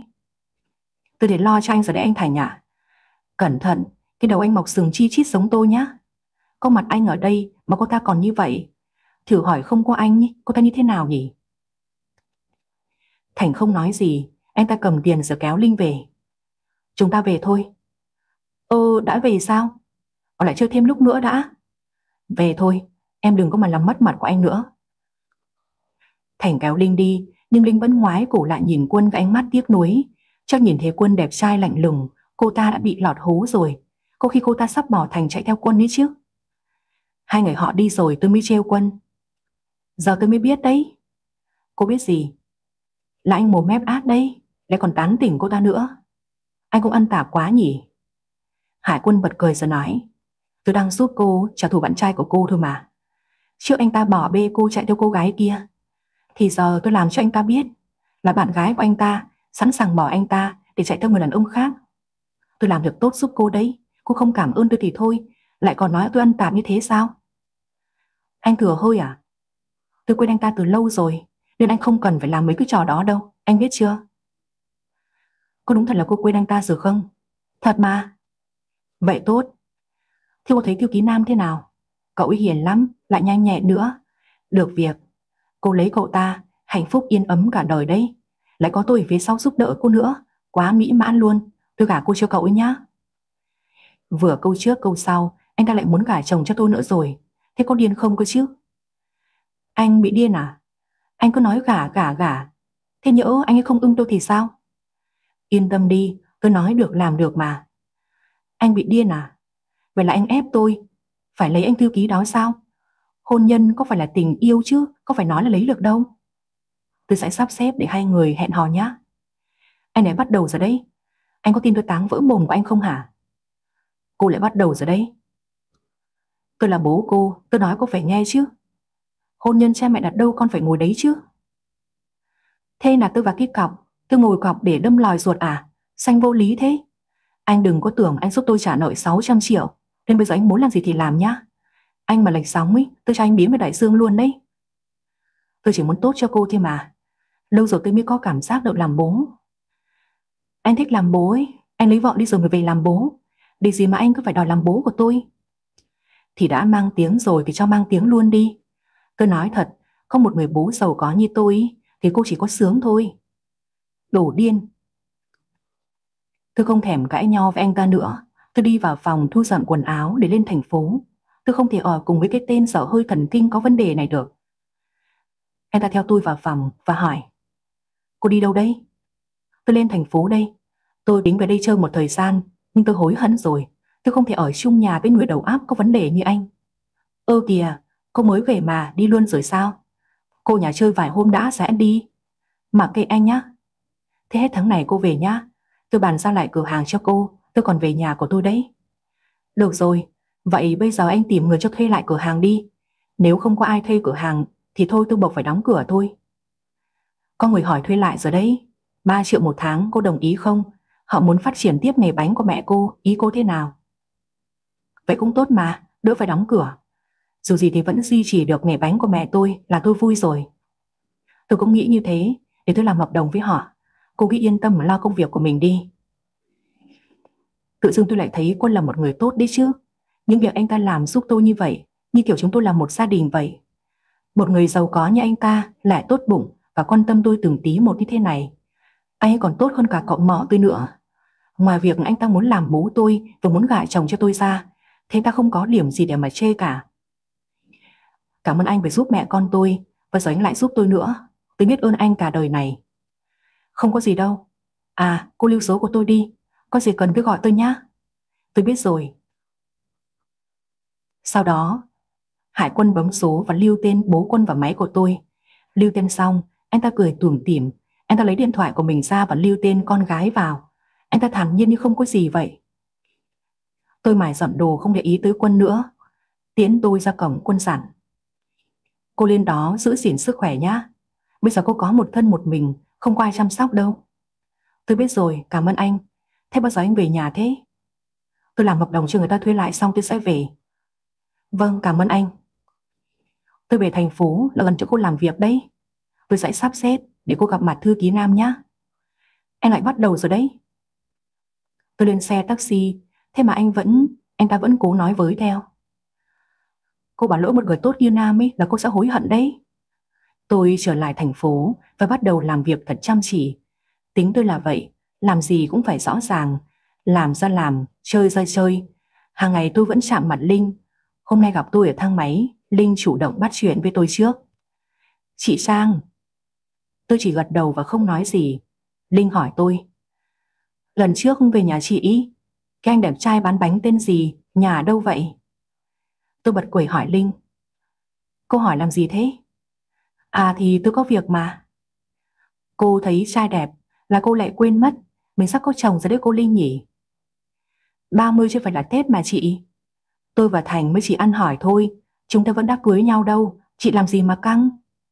Vậy sao? Đúng là bản chất lăng nhăng thì có chết cũng không thay đổi được đâu nhỉ. Thế bây giờ chị có cho tôi biết, khi người đàn ông bán bánh kia là ai không đây? Tôi sẽ nói, nhưng mà cô đừng có sốc nhá. Chị cứ nói đi. Anh ấy là Hải Quân, con trai duy nhất của tập đoàn Hải Quân. Cho cô biết tập đoàn đó chứ? Mắt Linh trợn tròn lên. Oh my god, anh ta là Hải Quân thật sao? Thật. Trời ơi, đúng là con trai nhà tài phiệt có khác. Nhìn thấy đẹp trai và hơn 10 bình thường rồi. Mà sao anh ta lại về nhà chị bán bánh thế? Anh ta có việc. Hôm nay anh ta cũng quay trở về nhà anh ta rồi. Vậy sao? Sao chị quen được anh ấy thế? Tôi có việc. Mà cô tự tìm hiểu đi. Tôi bận rồi, đừng làm phiền tôi. Tôi đi về phòng làm việc, tôi có điện thoại. Nhìn mặt hình điện thoại mà tôi giật cả mình. Bố quân đang gọi tới, tôi lầm bầm. Anh ta lưu cái tên gì mà kỳ cục thế? Alo. Tôi làm xong hợp đồng thuê cửa hàng cho cô rồi. Tôi đang thu dọn đồ rồi về thành phố đây. Buổi trưa nay chúng ta gặp nhau nhá. Tôi đưa giấy tờ cho cô. Nhanh vậy à? Cảm ơn anh nhá. Không có gì. Buổi trưa tôi đón cô ở cổng công ty nhá. Anh biết công ty của tôi rồi sao? Ừ, tôi biết. Tôi còn biết cả nhà trọ của cô nữa đấy. Trời ơi sao anh biết nhanh vậy? Tôi nhớ là tôi không kể với anh cơ mà. Cô quên tôi là bố cô à? Con gái làm gì ở đâu bố phải biết chứ. Anh lại bắt đầu rồi đấy. Tôi gắt lên tắt máy luôn. Cái thằng cha này cứ mổ cái mồm ra là đòi bằng bố của mình. Là sao thế nhỉ? Cú thật đấy. Thư ký Nam về đón hải quân. Anh vui mừng lắm. Vừa tới, anh ta chạy lại ôm cậu chủ của mình. Cuối cùng Thanh cũng trở về rồi, tôi mừng quá ấy. Này, cậu làm cái gì đấy? Ôm ấp cứ như trẻ con thế à? Tôi mừng quá mà. Tôi thông báo cho chủ tịch biết, lâu nay anh về rồi, chủ tịch mừng lắm đấy anh ạ. Đấy, cứ phải xa nhau một tí, ông ấy mới biết thương tôi nhỉ. Anh cũng lì thật đấy, bỏ đi cả nửa năm liền. Chủ tịch lo cho anh lắm đấy, ông ấy gầy đi mấy cân. Thì tôi bận việc mà, bây giờ mọi chuyện xong xuôi rồi, yên tâm trở về thành phố rồi. Vâng, anh vẫn giải quyết công việc cho cô gái đó sao? À, cậu nói tôi mới nhớ ra, con gái tôi thế nào? Con gái nào? Anh làm gì có con gái à? Thì đấy, chính là cô gái ngang ngược đó đấy. Con gái tôi tên là Sam, 28 tuổi, hiện độc thân và làm trưởng phòng kinh doanh của một công ty lớn. Tôi gả nó cho cậu nhá. Thế nào? Thư Tí Nam tròn mắt nhìn Hải Quân. Anh đùa em đấy à? Sao lại có con gái còn hơn anh 2 tuổi thế à? Đó là một cái duyên thôi, nhưng tôi hỏi thật cậu, con gái tôi có xinh không? Hôm đó về buổi tối tôi không nhìn rõ, nhưng mà cô rất hung dữ. Không đâu, con bé hiền lắm, đây là ảnh của nó này, cậu xem đi, rất xinh đúng không? Thư ký Nam cầm tấm ảnh rồi gật gù. Dạ vâng, rất xinh ạ. Bố mẹ Trang mất cả rồi, chỉ có người thân duy nhất là tôi. Nên sau này tôi gả chồng cho nó và chăm lo cho nó. Có thể nói thế nào, tôi gả cho cậu nhá. Anh nói thật hay là đùa đấy? Thật mà, tôi là bố nó. Tôi muốn nó lấy được một tấm chồng tốt mà tôi chỉ tin tưởng mỗi cậu thôi. Còn thằng Đạt thì ra thế tốt, nhưng mà thằng đó lăng nhăng quá. Anh tin tôi vậy sao? Ừ, cậu sống cùng với gia đình của tôi từ nhỏ rồi, nên tôi rất hiểu và thông cảm cho cậu. Nhưng tôi là trẻ mồ côi mà. Chuyện đó có sao đâu. Cậu lấy con gái của tôi thì cậu là người cùng nhà với tôi. Cậu cứ suy nghĩ kỹ đi, có gì trả lời tôi sau cũng được. Dạ vâng, tôi hiểu rồi. Thư ký Nam cầm cái ảnh của Trang và nhìn ngắm rất lâu. Anh chợt nhớ ra là anh chưa có một mối tình nào cả. 20 năm nay, kể từ khi gia đình ông chủ đón anh về nhà nuôi, thì anh chỉ biết học hành. Học xong, anh về tập đoàn hải quân làm việc tận tụy cho gia đình ông chủ. Anh chưa từng hẹn hò với ai. Bây giờ nghe cậu chủ có ý muốn mai mối cho anh, anh cũng có chút động lòng. Anh nhét cái ảnh của Trang vào ví của mình. Anh rất đương nhiêu, trân trọng tấm ảnh đó. Về tới nhà, bố Hải quân chờ con trai ở phòng khách. Nửa năm mới gặp con trai, ông không muốn tranh cãi với con trai nữa. Ông hạ giọng trước. Con về rồi đấy à? Dạ vâng, bố vẫn khỏe chứ?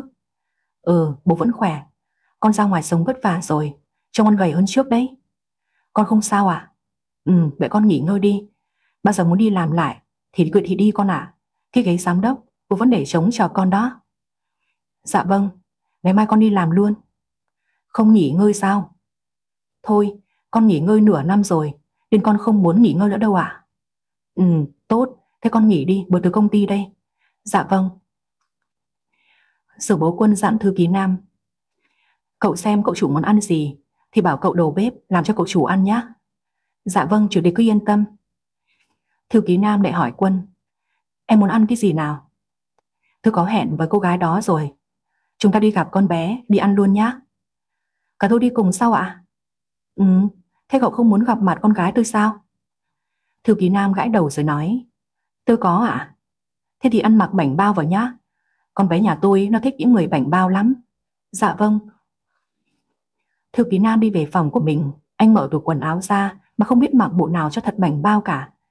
Anh cứ mặc hết bộ này tới bộ khác mà không thấy ưng bộ nào hết. Anh cảm thấy hồi hộp như kiểu là anh đi hẹn hò với bạn gái thật đấy. Tới giờ hẹn đi ăn trưa với con gái, Hải quân đã chuẩn bị xong, anh đứng ở dưới phòng khách chờ mãi, không thấy thư ký nam xuống, anh lẩm bẩm. Cái thằng này làm cái gì mà lâu thế nhỉ? Chờ thêm 5 phút nữa vẫn không thấy thư ký nam đâu cả. Hải quân mới đi lên gác gọi. Nam ơi, có thay quần áo kiểu gì mà hai tiếng vẫn chưa xong thế? Nam mở cửa đi ra và hỏi. Tôi mặc bộ này thế nào? Ái chà, đẹp đấy. Cậu mà đeo thêm quả kính vào nữa thì quá ngầu luôn. Vâng, thế để tôi đeo kính. Sao thế, hồi hộp à? Vâng, tôi hồi hộp căng thẳng quá anh ạ. Hải quân cười vỗ vai của Nam. Có chi yêu lần nào có đúng không? Dạ vâng. Bảo sao cứ hồi hộp, cứ thoải mái tự tin lên vì cậu rất đẹp trai, phong độ, hay là con nuôi của chủ tịch tập đoàn Hải quân mà. Cậu là mẫu bạn trai mà ba người mơ ước đấy, cứ tự tin lên nhá. Ra tới xe ô tô, Hải quân liền nói. Tôi lái xe cho, cậu ngồi sang bên kia đi. Ấy chết thì sao vậy được chứ? Anh là cậu chủ của tôi cơ mà. Hôm nay cậu là cậu chủ, còn tôi là thư ký của cậu. Ấy chết, ngài chủ tịch mà biết là tôi chết chắc đấy. Làm sao bố tôi mà biết được, sao cậu ngốc thế? Vâng, thế anh lái xe đi, chỉ hôm nay thôi nhá. Tôi biết rồi. Hải quân lái xe tới công ty của Trang, anh lấy điện thoại ra, nhìn giờ đồng hồ. Chúng ta đến hơi sớm rồi. Con gái tôi 20 phút nữa mới nghỉ trưa cơ. Nam đảo bừng mặt anh khẽ nói. Không sao, chúng ta chờ cha 20 phút thôi mà. Ừ. Rồi Hải quân chợt nghĩ. Này, hay tôi với cậu vào công ty con gái tôi đợi một lúc đi. Tôi cũng muốn biết con gái của tôi làm việc thế nào. Nhưng mà tôi ngại lắm. Anh vào một mình đi, tôi đợi ở đây. Cậu bị làm sao đấy? 26 tuổi đầu rồi mà còn ngại ngùng như trẻ con thế sao? Phải mạnh dạn lên mới tiền mới tán được gái chứ. Cậu mà cứ như thế, sau này con gái của tôi nó trèo đến đầu cậu ngồi đấy, mạnh mẽ lên. Nhưng mà tôi... Không nhưng gì hết, đi vào thôi. Vâng. Thế là Hải quân và Thư ký Nam đi vào chỗ bảo vệ công ty và nói Chú ơi, cho cháu vào gặp con gái của cháu một lát nhé. Con gái cậu tên là gì nào? Làm ở phòng nào?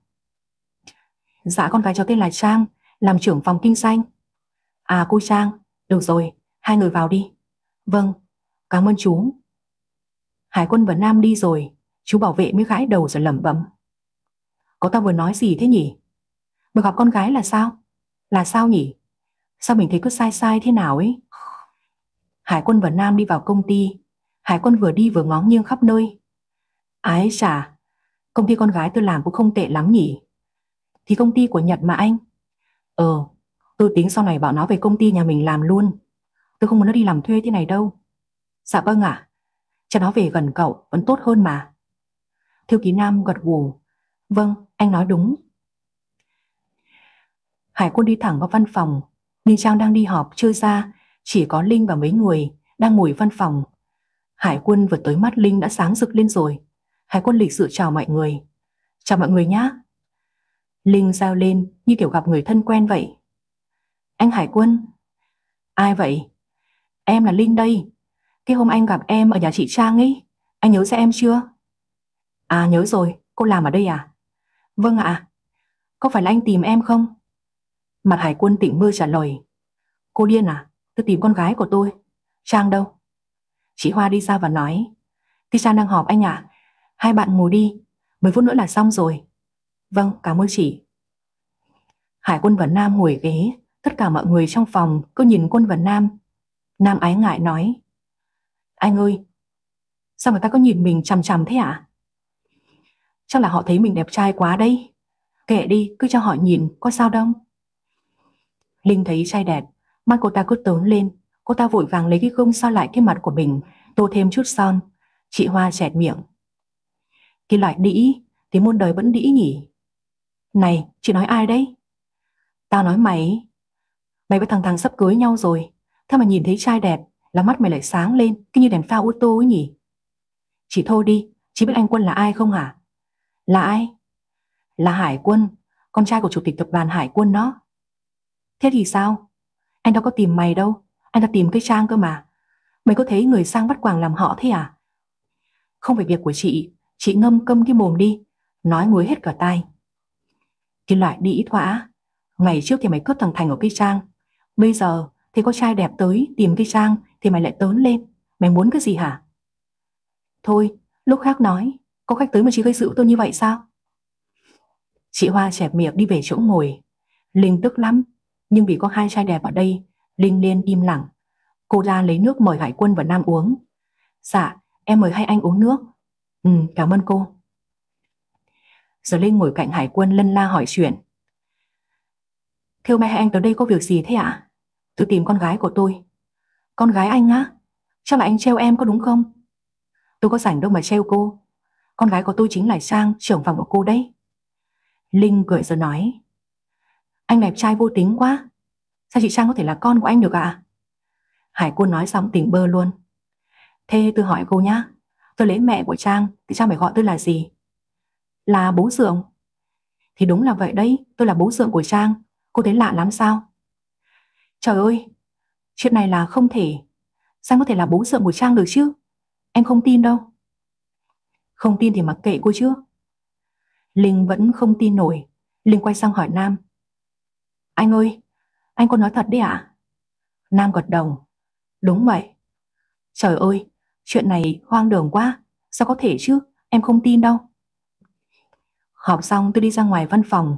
Tôi giật mình khi thấy Hải quân và Nam ngồi lù lù ở đó. Tôi vội lấy tập tài liệu che mặt. Chết rồi, sao ta lại vào đây trước? Vì đã bảo là chờ mình ở ngoài cổng rồi cơ mà. Không được, phải chuồn ra cổng trước mới được, chứ để mọi người mà biết thì xấu hổ lắm. Tôi vội đi ra ngoài thì tiếng của hải quân vang lên. Con lái ơi, bố ở đây cơ mà. Trời ơi, thế là hỏng bét rồi. Tôi bỏ tập tài liệu ra, quay mặt lại cười gượng. Sao lại vào đây? Hải quân đứng dậy, vỗ vào đầu tôi một phát và nói. Thì con bé này, có chồng không biết bố như vậy sao?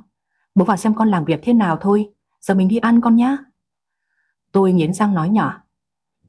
Bố chán sống rồi có đúng không? Ai cho bố tự ý vào đây hả? Hải quân vội nói. Con bình tĩnh đi, trước mặt mọi người, không phải cho bố một tí sĩ diện chứ. Ngoan rồi bố gả chồng cho. Con nhìn thư ký nam đi, cha đẹp lòng lộn nữa, lại còn ngoan. Là công ngài chủ tịch giúp đỡ ở phía sau nữa. Lấy cậu ta, con hạnh phúc cả đời êm ấm luôn. Tôi thề là tôi điên lắm rồi. Tôi chỉ muốn đá bay anh ta từ trên tầng 10 xuống đất thôi. Nhưng vì tất cả mọi người trong phòng đang nhìn tôi, lại có cả thư ký nam, đến tối nuốt cơn tức vào trong và lý nhí nói. Bố ơi, đi ăn cơm được chưa? Đi thôi, chúng ta đi ăn thôi. Ra tới nhà hàng, Hải quân đưa cho tôi một tập giấy tờ. Đây là giấy tờ đất, giấy tờ nhà, cả hợp đồng cho thuê cửa hàng nữa. Con cất cẩn thận nhé. Mặc dù tôi đang tức lắm, nhưng tôi vẫn phải cảm ơn anh ta. Cảm ơn. Chúng tôi vừa ăn vừa nói chuyện, Hải quân bắt đầu mai mối. Để bố giới thiệu, đây là Nam, cậu ấy bằng tuổi bố và là thư ký của bố. Cậu ấy cũng là con nuôi của ông nội con. Còn đây là Sang, con gái tôi, tôi kể với cậu rồi đó. Nào, bây giờ hai đứa làm quen với nhau đi. Thư ký Nam rất lịch sự, anh ấy nói chuyện lịch sự, nhã nhặn, ăn nói có duyên nữa, chứ không vô duyên như Hải quân.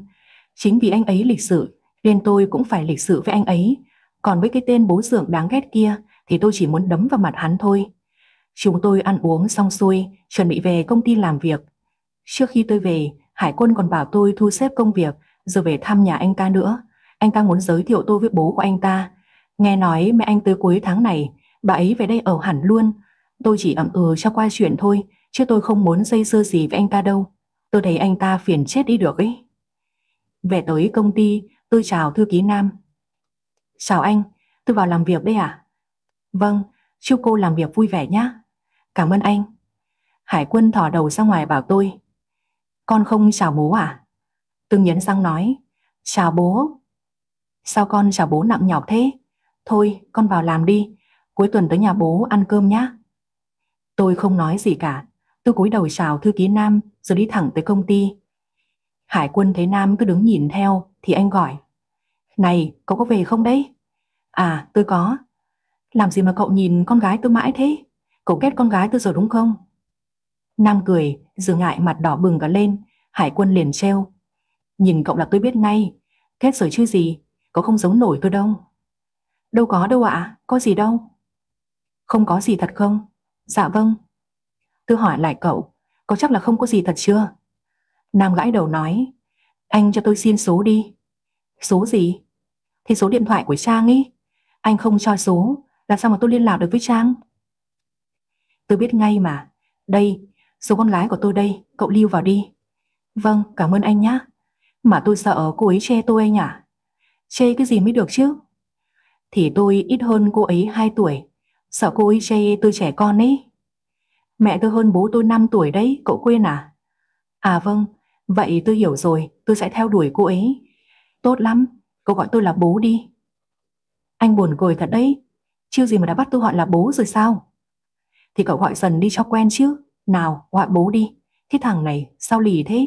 Gọi bố một câu thì chết à? Hải quân và thư ký Nam về tới nhà. Hải quân liền hỏi Nam. Cậu nghĩ sao về con gái của tôi thế? Con bé có xứng đáng làm bạn gái cậu không? Sao là người tốt, tôi đòi dám chê cô ấy chứ. Chỉ sợ cô ấy chê tôi thôi. Hai người có hoàn cảnh giống nhau mà. Tôi nghĩ hai người rất hợp với nhau đấy.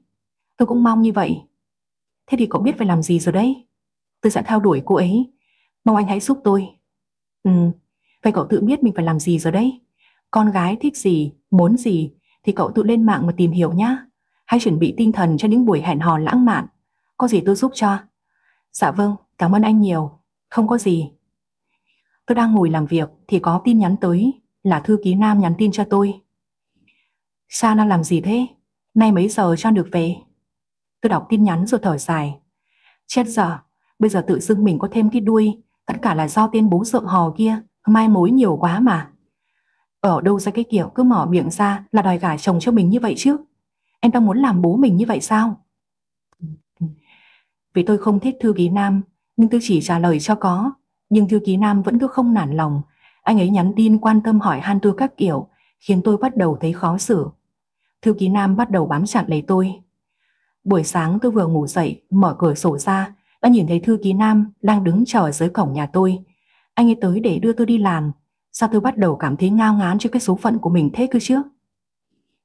Tôi thay quần áo xong, tôi mở cửa đi ra, giọng lịch sự của thư ký Nam khiến tôi không thể từ chối và tôi để cho anh ấy đưa tôi đi làm. Anh không cần phải qua đón tôi nữa đâu. Thế này mất thời gian của anh quá. Không có gì đâu, tôi rảnh mà. Tôi muốn nhìn thấy cô. Chỉ khi nhìn thấy cô Trang, tôi mới yên tâm làm việc được. Lại còn thế nữa. Chiều tôi tới đón cô Trang rồi mình đi ăn nhá. Chiều tôi bận rồi, để khi khác nhá. Mặt thư ký nam thoáng buồn, nhưng anh ấy vẫn tươi cười nói. Vậy ngày mai thì sao ạ? Tôi biết là không thể tránh anh ta mãi được, nên tôi thở dài rồi nói.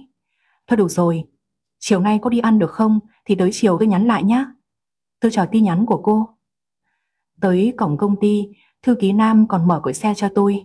Anh ấy quan tâm tôi như thể tôi là bạn gái thật của anh như vậy. Anh ấy đưa tôi một giỏ quà và nói Trang cầm giỏ quà này ăn với mọi người cho vui nhé.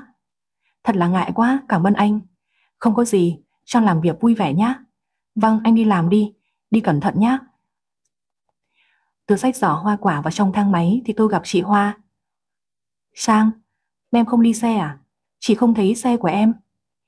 Bạn em chở em đi làm chị ạ. Bạn trai à? Tôi liền đưa giỏ quả cho chị Hoa và nói Chị mang vào giữa ăn với mọi người nhá bạn em mua cho đấy. Ôi giời, bạn trai em tâm lý thế. Thế là một trong hai anh đẹp trai hôm nọ tới đây đấy à? Từ khẽ gật đầu. Thế là anh chàng đeo kính hay là anh chàng không đeo kính? Khi anh đeo kính ấy chị, anh ấy tên Nam. Chà chà tuyệt đấy, cái anh chàng đó nhìn hiền lành và nghiêm túc đó em. Còn cái người mà tự nhận là bố của em đó, thì người đó chị cứ thấy sao sao ấy. Vâng, em ta tên là Hải Quân, em ta bị điên mà chị. Điên thật hả em? Vâng, những chuyện này chị cứ giữ bí mật cho em nhá. Ừ, em cứ yên tâm đi, chị có phải là người nhiều chuyện đâu. Rõ ràng chị Hoa nói sẽ không để cho ai biết. Thế nhưng khi chị Hoa cầm giỏ hoa quả vào phòng, thì cái Linh nó hỏi. Giỏ hoa quả ngon thế, Không may đầu chị bị ẩm y xê à? Sao chị đã mua giỏ hoa quả tới cho mọi người thế này? Chị Hoa điên quá gắt lên. Con điên này, mình cứ thích gây chuyện với tao thế hả? Đây là hoa quả bạn trai cái Trang mua cho đấy. Đừng bắt đó đều tôi đi con đĩ. Bà Trang có bạn trai rồi sao? Thế mày nghĩ mình mày có bạn trai thôi đấy à? Buổi chiều, bạn trai nó tới đón, mày mở to cái mắt ra mà nhìn nhá. Ki Linh nó nghi ngờ và nó quyết định chờ tới chiều để xem mặt mũi của bạn Trang là ai. Nó luôn đố kỵ với Trang, mặc dù chính nó là người cướp bạn trai 8 năm của Trang ngày trước, nhưng nó vẫn không thấy thỏa mãn, nó vẫn luôn ghen tị và tìm cách phá cuộc sống của Trang. Phải chăng vì Trang là bạn gái cũ của Thành nên nó vẫn luôn lo lắng sợ Thành sẽ bỏ nó để quay về bên Trang. Tôi cứ nghĩ cuộc sống của tôi được yên bình hạnh phúc nhưng một lần nữa tai họa lại ập xuống đầu của tôi. Tôi đang ngồi kiểm tra công việc trên máy tính thì mắt tôi nhòe dần. Tôi dụi mắt nhưng mắt tôi lại càng nhòe hơn và cuối cùng tôi không nhìn thấy gì nữa. Một màu đen bao phủ. Tôi hoảng quá mới gọi chị Hoa. Chị Hoa ơi, chị Hoa. Ôi ơi chị đây. Sao mà đen xì thế này? Em không nhìn thấy gì cả chị ạ. Sao vậy chứ? Chị Hoa liền nắm lấy tay của tôi. Em không thấy chị sao? Chị đứng trước mặt em đây này. Em không có thấy gì cả. Tất cả là một màu đen chị ơi. Sao lại thế nhỉ? Chị đưa em tới viện nhá. Giọng kia Linh ở bên cạnh vang lên. Ô, thế chị không nhìn thấy gì à? Thế chị mù rồi sao? Chị Hoa chửi kia Linh. Mẹ con điên này, tránh ra đi. Mở mồm con nào là thối câu đấy, cút đi. Tôi nói sai à? Không nhìn thấy gì thì chẳng bị mù sao? Thế mà cũng chửi người ta được. Chị Hoa gọi xe taxi đưa tôi tới bệnh viện gần đó. Tôi được bác sĩ khám và kết quả khiến tôi vô cùng hoang mang. Bác sĩ chẩn đoán tôi bị chứng bệnh giảm thị lực tạm thời và tôi phải nhập viện để điều trị. Nếu không tôi sẽ có khả năng bị mù vĩnh viễn. Tôi sốc và bất an vô cùng. Tôi đang rất bình thường, mắt tôi vẫn rất tốt. Dạo này thi thoảng khi làm việc trên máy tính nhiều quá, mắt tôi có bị nhòe đi, nhưng tầm tới 1-2 phút là mắt tôi lại bình thường. Nhưng bây giờ thì mắt tôi không còn nhìn thấy gì nữa, một màu đen bao phủ khiến tôi vô cùng sợ hãi và tôi không thể chấp nhận được sự thật này.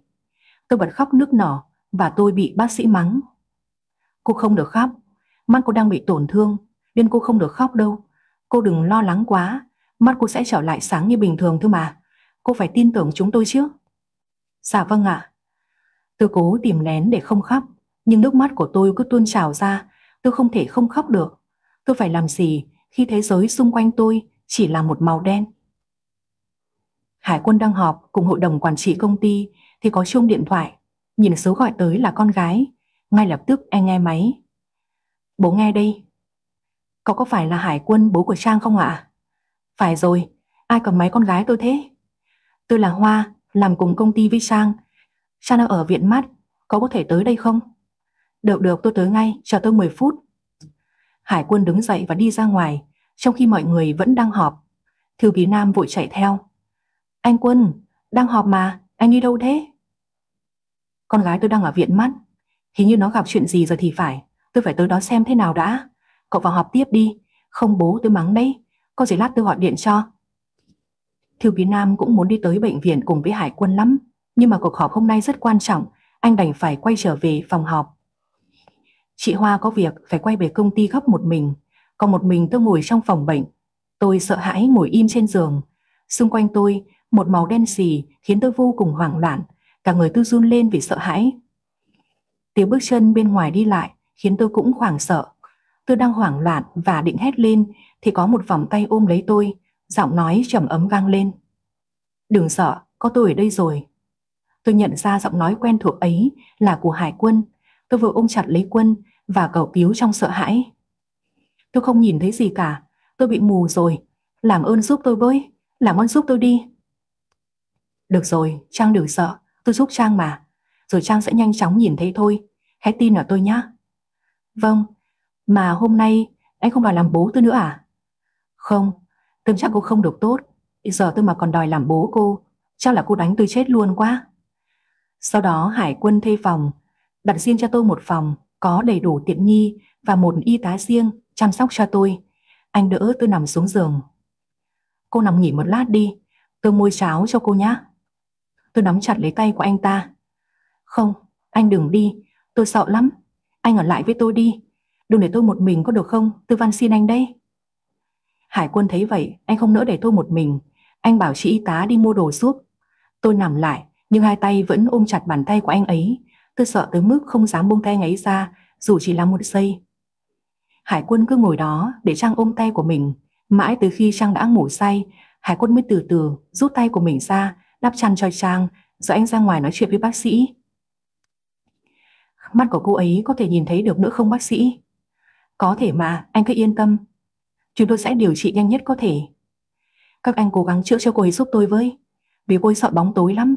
Cứ tình trạng này kéo dài tôi sợ không ổn đâu. Chúng tôi sẽ cố gắng. Thưa anh hãy ưu tiên cô ấy, tiền không thành vấn đề đâu, các anh hiểu ý tôi chứ? Vâng, chúng tôi hiểu mà, anh cứ yên tâm nhé. Hải quân đi ra ngoài hành lang, thư ký Nam gọi điện tới. Tôi nghe, anh ơi, Trang sao rồi ạ? À? Tôi quên mất không gọi điện báo cho cậu. Nhưng mà tình hình sức khỏe của Trang không ổn lắm. Cậu rảnh thì qua đây đi. Vâng vâng, tôi qua đây. Thư ký Nam vội vàng lái xe tới bệnh viện. Anh cảm thấy lo lắng bất an vô cùng. Sang ơi, cô đừng có bị làm sao nhá. Làm ơn hãy bình an vô sự được không? Thấy thư ký Nam chạy tới, Hải quân gãi đầu hải. Cậu chạy từ bên dưới chạy lên đấy à? Vâng, Trang sao rồi ạ? À? Hải quân chỉ vào cửa kính. Trang đang ngủ rồi, ra ngoài nói chuyện đi. Vâng, cô bị sao vậy? Trang bị giảm thị lực, tạm thời cô không nhìn thấy gì. Có thể nói Trang đang bị mù tạm thời. Nhưng bác sĩ ở đây khẳng định sẽ chữa khỏi cho cô ấy trong thời gian sớm nhất. Cậu đừng lo lắng quá, cô ấy không sao đâu. Trời ơi, vậy là tạm thời cô ấy không nhìn thấy gì sao? Thế thì cô ấy sợ lắm đó. Đúng thế, cô ấy khóc quá trời luôn. Cô rất sợ một mình, nhưng được thuê y tá riêng chăm sóc cho cô ấy rồi. Nhưng cô ấy vẫn còn sợ hãi lắm. Không được, tôi giờ đây chăm sóc cho cô ấy, tôi không thể để cô ấy một mình. Cậu đừng lo quá, Cô nhanh khỏe lại thôi mà. Anh đưa tiền cho bác sĩ chưa? Hết bao nhiêu tiền anh cứ quẹt thẻ của tôi nhé. Hải quân bật cười khi thấy thư ký nam lo lắng quan tâm tới Trang như vậy. Anh nghĩ trong bụng. Thằng này yêu Trang thật rồi, nhìn cậu ta lo lắng chưa kìa. Tối hôm đó Trang ngồi sữa, một bên là Hải quân, một bên là thư ký nam. Hai người đàn ông đẹp trai ngồi nhìn Trang chằm chằm. Cô y tá vào thấy vậy liền nói. Phiền hai anh ngồi sang bên này, để bệnh nhân còn uống thuốc. Tôi đã quen dần với bóng tối và không còn sợ hãi như lúc đầu nữa. Tôi khẽ nói, hai người được về đi à? Thiêu ký Nam vội nói, anh Quân về đi, tôi lại với Trang. Hải Quân không muốn về, anh cứ ẩm ừ. Ừ, lát tôi về, cậu ở đây có quen không? Hay là cậu về đi, tôi ở đây cho. Tôi không sao mà, anh về nghỉ đi, mai còn tới công ty, còn bao nhiêu việc cho anh về giải quyết đấy. Cuối cùng thì Hải Quân phải đứng dậy ra về, trong vẻ mặt của anh ta đầy sự tiếc nuối. Cái hai người đàn ông cứ lưu luyến bên cạnh, cô y tá còn thấy ngạc nhiên khó hiểu. Cô nhìn ánh mắt hai người đàn ông này lạ lắm. Thư ký Nam đỡ tôi nằm xuống. Cô nằm nghỉ đi nhá, đừng lo lắng, tôi ở ngay bên cạnh cô đây nhá. Sao anh không về đi? Tôi đây có y tá rồi mà. Tôi muốn ở bên cạnh cô, nên cô Trang đừng bảo tôi về nữa nhá. Anh làm tôi ngại quá đấy. Trang đừng ngại với tôi, sao không nhìn thấy, Trang nắm tay tôi đi, tôi đưa Trang đi, tôi sẽ là đôi mắt của Trang, cùng Trang đi hết cuộc đời này. Trang đồng ý nhá. Thư ký nam nhân cơ hội tỏ tình với tôi, khiến tôi cảm thấy rất khó xử. Tôi không biết phải trả lời sao cả, tôi nhắm tịt mắt lại, bà già vờ ngủ không nghe thấy gì. Tôi nhắm mắt nhưng tôi chưa ngủ ngay được. Thư ký nam còn lợi dụng nắm tay tôi, rồi hôn lên trán tôi nữa chứ. Nhưng tôi đang giả vờ ngủ, nên không dám lên tiếng. Thì như anh ta cũng cơ hội lắm cơ. Hải quân về nhà nhưng anh không ngủ được. Anh ngủ ở phòng khách, bố anh về thấy anh chưa ngủ thì liền hỏi. Con trai sao thế? Con không sao ạ? À? Con tâm sự gì sao? Con có muốn uống một chút rượu vang không? Ý hay đó bố. Thư ký Nam đâu rồi? Về cho tôi chai rượu vang đi. Dạ thư ký Nam nay bận việc bố ạ. Không về nhà đâu, để con đi lấy. Ơ, đâu bận cái gì đấy? À, một người bạn của Nam bị bệnh nên cậu ở lại bệnh viện với bạn đi bố à? Bạn nào thế? Có phải là cô gái tên Trang không? Ủa sao bố biết hay vậy? À, hôm qua nó tìm mẫu xe ô tô nữ mà.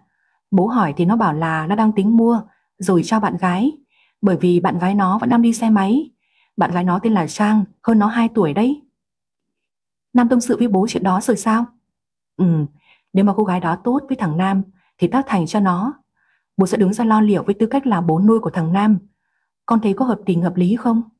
Dạ hợp ạ. Vậy tốt, thế con biết cô gái đó không? Vâng, con biết ạ. Con bé đó là người thế nào? Nó làm ở lĩnh vực nào? Gia cảnh ra sao? Con tìm hiểu chưa? Con lưỡng lự một hồi rồi nói. Sao là con của con bố ạ? Bố có thể hiểu con là bố dượng của Trang, như vậy cho dễ nói chuyện. Con nói đùa đấy à? Sau 6 tháng con xa nhà, con quen một bà nhiều tuổi và có con riêng lớn như vậy luôn sao? Đó là một câu chuyện dài, con không biết phải kể cho bố nghe thế nào, sao bố sẽ hiểu. Nhưng mà tạm thời bố có hiểu như vậy đi ạ. À? Hoang đường thật đấy, đó là người thế nào, bố muốn gặp bà ấy. Bà ấy là người cứu con lúc con gặp nạn đó bố, nhưng bà ấy mất rồi. Chính vì thế, Trang chỉ còn một mình con là người thân thôi bố. Bố mẹ Trang mất cả rồi, mẹ Trang mất rồi, nên bố cũng đừng điều tra về chuyện này nữa nhé. Ông chủ tịch không nói gì nữa, ông rót rượu ra đưa cho con trai. Nào, uống rượu đi. Vâng, con mời bố ạ. Mọi khi Hải quân rất hào hứng kể về chức danh bố dưỡng của anh, nhưng không hiểu sao hôm nay anh lại không cảm thấy vui như vậy. Tự dưng anh lại không muốn làm bố dưỡng của Trang nữa. Nghĩ tới việc thư ký Nam đang ở bệnh viện với Trang, anh lại có chút tiếc nuối. Kể ra thì hơi lạ, nhưng vừa mới hôm qua anh còn muốn vun vén cho Nam và Trang. Ấy vậy mà hôm nay khi thấy Trang không nhìn thấy ánh sáng, anh lại muốn ôm Trang vào lòng và muốn che chở cho Trang nữa. Cái ôm của Trang lúc chiều khiến suy nghĩ của Hải quân thay đổi theo một hướng khác. Hải quân uống rượu rồi thở dài suy tư. Con sao thế? Có chuyện gì không vui sao? À không ạ. À? Hôm nào bảo cái Trang về đây chơi nhá. Bố muốn biết bạn gái của thằng Nam là người thế nào. Bố ơi, Trang đang bị vấn đề về mắt bố ạ. Vậy sao? Không nghiêm trọng không? Khá là nghiêm trọng. Tạm thời Trang không nhìn thấy gì. Cô ấy mở với bị lúc trưa nay xong. Hôm qua chúng con vẫn còn đi ăn trưa cùng nhau. Thế mà hôm nay Trang bị như vậy rồi, đen thật. Vậy sao? Nếu ở mình con cảm thấy không ổn thì cứ bảo thằng Nam đưa Trang ra nước ngoài điều trị đi. Bố sẽ trả chi phí cho nhá, không phải lăn tăn đâu. Vâng, con cảm ơn bố, con sẽ nói chuyện với Nam. Ừ, cho bố mệt rồi, bố nghỉ đây. Con cũng nghỉ sớm đi. Dạ vâng, bố ngủ ngon à? Hải quân đi lên phòng, nhưng anh vẫn không thể ngủ được. Anh định gọi điện cho Nam để hỏi về tình hình của Trang, nhưng anh lại ngại điên thôi. Cuối cùng thì anh vẫn không thể ngừng quan tâm đến Trang. Anh đi xuống lái xe và đi thẳng tới bệnh viện. Vừa lái xe, Hải quân lại vừa lẩm bẩm. Quân ơi, mày bị làm sao vậy? Mày buôn vén cho hai người đó, cho đã đi. Rồi bây giờ mày lại không vui là sao? Mày tiếng Nam ở bên chăm sóc cho Trang, mày lại ghen là sao hả? Mày tỉnh táo lại đi. Hải quân dừng xe ở bên đường, rồi anh quyết định quay xe và đi về. Nhưng vừa quay xe lại được 100 mét, anh lại phanh gấp, khiến cho người đứng phía sau tí thì đâm vào xe của anh. Họ đi ngang tầm rồi họ chửi anh. Đi đứng kiểu gì thế hả? Tự dưng phanh gấp, làm tôi xém chết rồi đó. Hải quân cười gượng nói, tôi xin lỗi, đồ thần kinh. Người ta chửi tiếp rồi lái xe đi, Hải quân thở dài rồi vòng xe lại, chạy thẳng tới bệnh viện. Anh đi về phía cửa phòng bệnh của Trang, thấy cô y tá ngồi ngoài hành lang, anh liền hỏi. Muộn rồi, sao cô còn ngồi ở đây? À, tôi thấy cậu ấy tình cảm với Trang quá, tôi không đỡ phá đá ấy mà. Hải quân lại chỗ cửa kính, anh nhìn vào, thấy Nam vẫn thức. Nam đang nắm tay của Trang để canh cho Trang ngủ. Bất giác, Hải quân vội quay đi vì anh thấy đau nhói ở ngực của mình. Hải quân vội vã đi về để không ai thấy nỗi buồn đang trào dâng trong lòng của anh. Hải quân lái xe trở về nhà, anh lên phòng nằm mà lòng nặng trĩu những suy tư. Cả đêm đó anh thức trắng để suy nghĩ và bản thân anh và Nam với Trang, anh suy nghĩ về mối quan hệ của ba người. Hiện tại cuối cùng Hải quân đã quyết định không tham gia vào câu chuyện vỉnh ngang trái đó nữa. Hải quân quyết định im lặng. Anh suy nghĩ dù sao thì anh cũng đã hứa gả Trang cho Nam. Anh còn bắt Trang và Nam gọi mình là bố rồi. Nếu anh đã vun vén cho hai người như vậy thì bây giờ anh phải chấp nhận sự thật thôi. Vì chính bản thân anh là người tự đẩy bước đường này nên bây giờ anh phải chấp nhận. Hải quân quyết định vẫn sẽ làm bố của Trang. Anh sẽ chăm lo cho cuộc sống của Trang giống như chính anh là bố của Trang vậy. Với lại Trang ở bên ai, chứ ở bên Nam thì anh quá yên tâm rồi.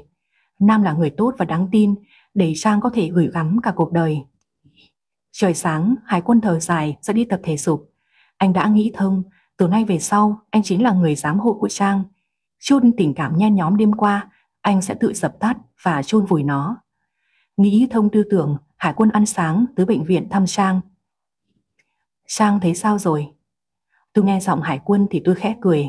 Tôi ổn rồi à? Ừ, vậy tốt. Thế hôm nay Nam có về công ty không hay ở đây? Dạ tôi về công ty giải quyết một số chuyện Rồi chưa tôi vào Tiền thì tôi tắm luôn Ừ thế cậu đi đi Tôi ở đây chơi với con gái tôi một lát Rồi tới công ty sau Vâng Thanh ngồi ở đây với Trang nhá Ừ Thư ký Nam nắm lấy tay của tôi và dặn dò Trang ngoan nhá Đợi anh rồi chưa anh vào Tôi không sao đâu Anh cứ về làm việc đi Tối rảnh rồi hãy vào ạ Anh chỉ bận buổi sáng thôi Rồi chưa anh vào với em Tối anh còn canh cho em ngủ nữa Em ngoan nhá, anh thương em lắm. Anh làm tôi cảm thấy ngại quá. Em đừng ngại, anh về công ty đây. Hải quân nhìn thư ký nam ân cần dặn dò Trang, anh nghĩ trong bụng.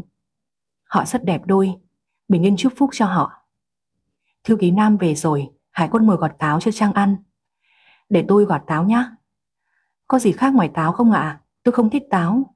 Có nho, cam quýt, Trang ăn gì? Tôi muốn ăn nho. Được rồi để tôi bóc vỏ cho. Ui, bóc vỏ nho từ bao giờ? Anh đưa đây tôi ăn cả vỏ luôn cho nhanh. Tôi giơ tay ra để xin nha. Đâu, nho đâu ạ? Anh đưa tôi đi. Tôi rửa rồi, nhưng ăn cả vỏ sợ là không tốt đâu. Không sao, anh cứ đưa tôi đi. Hải quân để chùm nho vào tay của tôi, tôi vui mừng cầm quả nho bỏ vào miệng ăn ngon lành. Ngon quá xá luôn, cảm ơn anh nhá. Ừ. Anh lại không đòi làm bố tôi nữa à? Nếu cô coi tôi là bố của cô Thì tôi sẽ là bố của cô Tất nhiên là không rồi Tôi không muốn có một người bố trẻ như anh đâu Tôi thấy không quen Thay vì làm bố của tôi Thanh làm bố của con tôi thì hơn đấy Hải quân đưa người ra Cha nói vậy là có ý gì Anh không hiểu thì thôi Hải quân thở dài hỏi Trang Trang thấy Nam thế nào Tôi vốn không thích thư ký Nam Liên Quân hỏi, tôi trả lời thẳng thắn thật luôn. Tôi nói anh đừng thất vọng nhá. Trang nói đi. Tôi không thích thư ký Nam đâu. Anh ấy tốt, nhưng mà tôi không có tình cảm với anh ấy. Tôi chỉ coi anh ấy như một người bạn thôi. Đêm qua tôi tỉnh giấc, anh ấy nắm tay tôi, tôi còn tưởng là bàn tay của... Ờ, Hải quân con mày hỏi. Trang tưởng tay của ai? Tôi tưởng tay của anh đó. Hải quân nghe Trang nói là không thích thư ký nam, anh vui vẻ hẳn ra, anh mừng thầm trong bụng, sau đó anh ngập ngừng hỏi. Trang không thích thư ký nam thật đấy hả? Đúng vậy. Thế Trang có chút ấn tượng nào với tôi không? Có. Thật không? Thật mà. Hải quân vui quá, anh kéo tay của Trang, ôm Trang vào lòng. Tôi không biết phải diễn tả thế nào, nhưng cảm giác của tôi lạ lắm, tôi muốn che chở cho Trang. Tôi vội đẩy Hải quân ra. Anh làm cái gì thế? Người ta nhìn thấy bây giờ. Kệ cho người ta nhìn tôi không sợ đâu. Anh bị sao thế? Bỏ tôi ra. Hải quân liền đẩy tôi vào tường rồi nói. Ở đây không có ai nhìn thấy cả. Trang, tôi thích em. Ừ, nhưng mà... Hải quân không đợi tôi nói hết câu. Anh ấy đã hôn tôi. Tôi không phản kháng mà tôi đón nhận nụ hôn ấy. Đủ hôn ấy, vòng tay ấy khiến tôi mất hết đi lý trí. Tôi phó mặc cuộc đời. Cho dù ngày mai trời có sập xuống thì hôm nay tôi vẫn có ôm anh ấy, hôn anh ấy. Cảm giác này lạ quá. Không lẽ tôi phải lòng hải quân rồi sao? Cô y tá đẩy cửa đi vào. Chúng tôi vội buông nhau ra. Hải quân đỡ tôi ngồi xuống giường. Rồi anh ấy lấy cho tôi nho, bóc cho tôi ăn. Tôi thấy vui mỗi khi ở bên hải quân. Tôi cảm thấy bình yên lắm. Tôi không còn thấy sợ hãi nữa. Tôi thích cảm giác này. Ở bên hải quân, tôi cảm thấy thời gian trôi nhanh vèo vèo. Một cái đã tới trưa rồi. Thư ký Nam đã xuất hiện từ bao giờ? Anh Quân, anh về đi, tôi tới rồi đây. Sao cậu không nghỉ ngơi đi, tôi ở đây với Trang cũng được mà. Anh về công ty đi, để tôi ở đây với Trang, anh cứ yên tâm về đi. Tôi liền nói. Cả hai người cùng về đi, tôi có cô y tá chăm sóc rồi mà, hai người về đi.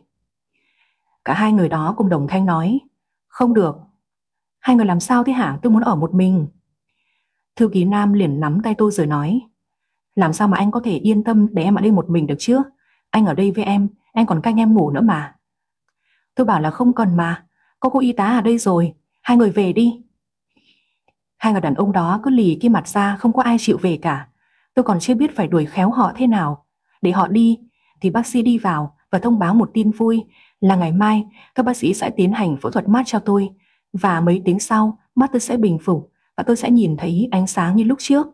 Tôi mừng quá, tôi sắp nhìn thấy mọi thứ xung quanh rồi. Mấy ngày hôm nay tôi sống trong bóng tối, tôi cảm thấy lo lắng và bất an lắm, cảm giác thật không dễ dàng gì. Ngày hôm sau là một ngày vô cùng đặc biệt, Trang ở trong phòng phẫu thuật ở bên ngoài, có anh chàng đẹp trai đang đứng chờ đợi Trang. Hải quân vô cùng lo lắng, anh cứ đi đi lại lại, chờ đợi. Còn thư ký Nam thì ngồi yên, cầu nguyện cho Trang được bình an. Kể ra thì Trang ở bên ai cũng được, ấm êm hạnh phúc. Bởi vì lúc này cả hai người đàn ông đều yêu thương cô thật lòng, đều muốn che chở và bảo vệ cho cô cả đời. Ca phẫu thuật thành công rực rỡ, chỉ vài tiếng nữa thôi, khi tấm gạc mắt tháo ra, Trang sẽ nhìn thấy ánh sáng, cuộc sống của cô sẽ bình thường trở lại. Mấy ngày sống trong bóng tối đã giúp cô trải nghiệm, học hỏi được nhiều thứ và có cả nụ hôn ngọt ngào, đầy bất ngờ đó nữa. Cuối cùng thì giây phút tôi chờ đợi cũng đã đến. Bác sĩ tháo gạc cho tôi, tôi đã vỡ hòa hạnh phúc khi nhìn thấy ánh sáng. Thế nhưng người đàn ông đầu tiên tôi nhìn thấy không phải là Hải quân, mà là thư ký Nam. Tôi thoáng buồn lòng vì tôi đã mong ngóng được nhìn thấy người đàn ông tôi thích đầu tiên. Thế mà anh lại bận đi đâu thế? Nam vẫy tay. Sang, em nhìn thấy rồi chứ? Tôi khẽ gật đầu. Vâng, tôi nhìn thấy mọi thứ rồi. Thư ký Nam ôm chầm lấy tôi và nói Cảm ơn trời đất, em nhìn thấy rồi. Mấy ngày hôm nay anh lo lắng cho em lắm đấy. Cảm ơn em. Tôi mới là người phải nói cảm ơn chứ. Mấy ngày qua anh vất vả vì tôi quá rồi. Em đừng nói như vậy mà. Chăm sóc em là trách nhiệm của anh mà. Tôi khẽ nói. Thế ngải Quân về công ty rồi ạ? À? à, nay mẹ anh Quân về. Anh đi đón mẹ anh ấy rồi. Lát nữa anh cũng phải về cho hỏi phu nhân. Giờ buổi chiều anh vào với em nhé. Dạ vâng, anh cứ về đi. Tôi nhìn thế rồi mà. Anh không cần phải vào với tôi nữa đâu. Anh cứ về làm việc đi. Mà tôi xin về nhà rồi ạ. Em mới phẫu thuật xong, sao về sớm vậy chứ? Tôi về nhà nghỉ ngơi cho thoải mái. Chứ ở bệnh viện, mùi thuốc sát trùng nhiều quá, tôi sợ cái mùi đó lắm. Nhưng để em về nhà, anh không yên tâm. Tôi không sao thật mà, anh đừng có lo, anh cứ mau về đi. Sau đó tôi lấy lý do buồn ngủ để đuổi khéo thư ký Nam về. Tôi nằm và nghĩ, cái người mình mong gặp thì không thế đâu cả, còn cái người mình không muốn gặp lại có lẽo đẽo theo mình thế này. Ông trời sao cứ làm khó con vậy? Khải quân ra sân bay đón mẹ, nhưng lần này anh không về một mình nữa, mà mẹ anh lại đi về cùng một cô gái. Cô ấy chính là Kiều, cô ấy cũng chính là mối tình đầu của Hải quân. Con chào mẹ. Mẹ chào con trai. Cái Kiều về cùng mẹ đây này, con ngạc nhiên chưa? Con chả thấy có gì đặc sắc cả. Kiều xị mặt xuống trước câu nói vô tình của Hải quân, nhưng cô vẫn vui vẻ và lại ôm cổ anh. Em chào anh, lâu giờ không gặp, anh có khỏe không ạ? Anh vẫn khỏe. Mà em về chơi hay có việc gì? Em nhớ anh, em về thăm anh. Hải quân không nói gì, em đẩy hành lý vào cho mẹ. Mẹ ơi, chúng ta về nhà thôi. Kiều không vui trước thái độ thờ ơ của quân, nhưng cô vẫn gạt hết và lẽo đẽo theo sau anh. Hải quân chở mẹ và Kiều về tới nhà, thì ông chủ tịch và thư ký Nam đã chờ sẵn ở cửa. Ông chủ tịch đi ra ông phu nhân. Mình đã về rồi, tôi mong mình mãi. Dạ, từ bây giờ em ở nhà với mình luôn. Công việc của em ở bên đó giải quyết xong hết rồi mình ạ. À? Vậy tốt quá, cả nhà mình đoàn tụ rồi. Tôi mong cái ngày này tới lâu lắm rồi đấy. Em còn đưa cái Kiều về đây này. Mình nói thật không? Kiều ở trên xe bước xuống lễ phép chào. Cháu chào chủ tịch ạ. Đúng là Kiều rồi, lâu quá không gặp giấy cháu nhỉ. Thế dạo này gia đình cháu vẫn khỏe cả chứ? Cả nhà cháu vẫn khỏe bác ạ. À? à, bố cháu gửi biếu bác một chai rượu. Bố cháu lúc nào cũng chu đáo quá, cháu bác gửi lời cảm ơn đến bố cháu nhá. Dạ vâng ạ. Phu nhân lại xoa đầu thư ký nam và khen. Thế thằng bé này càng lớn càng đẹp trai, lâu rồi không gặp, con đã có bạn gái chưa, hay vẫn ế với con trai? Dạ, lần này phu nhân về, con có món quà bất ngờ dành cho phu nhân đây. Quà gì vậy con? Có khi nào con có bạn gái rồi phải không? Thư ký Nam gật đầu ánh mắt đầy hạnh phúc. Thì dạ phu nhân nói đúng rồi à? Mai kia sức khỏe cô ấy bình phục, con dẫn cô ấy về ra mắt phu nhân luôn. Cả chủ tịch và phu nhân đều vui mừng chúc phúc cho thư ký Nam. Họ sẵn sàng đứng ra lo toan mọi việc cho thư ký Nam. Duy nhất chỉ có Hải quân là không vui. Anh thở dài đi vào nhà. Kiều Vũ đi theo Hải quân. Anh ơi, em bảo. Bảo gì? Anh nhắm mắt lại đi, em có quà cho anh này. Thôi không cần đâu. Kìa anh, anh có nhắm mắt lại đi mà. Hải quân vẫn không thèm nhắm mắt. Kiều liền lấy hộp quà nhỏ trong túi ra đưa cho Hải quân. Em tặng anh. Vẽ chuyện. Anh nhận đi mà, nhận đi. Hải quân cầm hộp quà nhỏ, lắc lắc rồi hỏi Kiều. Cái gì đây? Một chiếc đồng hồ Rolex phiên bản giới hạn. Đúng mẫu mà anh thích đó. Tuy giá không đắt, nhưng mẫu mã anh thích đó. Hải quân liền mở hộp ra và cầm chiếc đồng hồ lên. À, con này cũng rất đẹp, giá tỷ mốt, nhưng anh mua nó từ hồi đầu năm rồi. Mỗi loại đồng hồ anh chỉ cần một chiếc thôi, em giữ lại mà dùng đi nhá, vì anh có rồi. Hải quân nói xong, liền trả lại đồng hồ tiền tỷ cho Kiều rồi đi lên phòng. Kiều buồn bã không nói gì vì cô cũng biết là Hải quân thích sưu tầm đồng hồ, nhưng anh chỉ cần mỗi loại một chiếc thôi. Anh ấy có rồi thì sẽ không bao giờ cầm cái thứ hai. Cô ngậm ngùi cất cái đồng hồ đi, bà tính là mai kia sẽ tìm mua tranh một món đồ khác. Hôm đó chủ tịch mở một bữa tiệc để chào đón phu nhân và Kiều về. Trước khi bữa tiệc bắt đầu, bà chủ tịch gọi Nam ra và hỏi.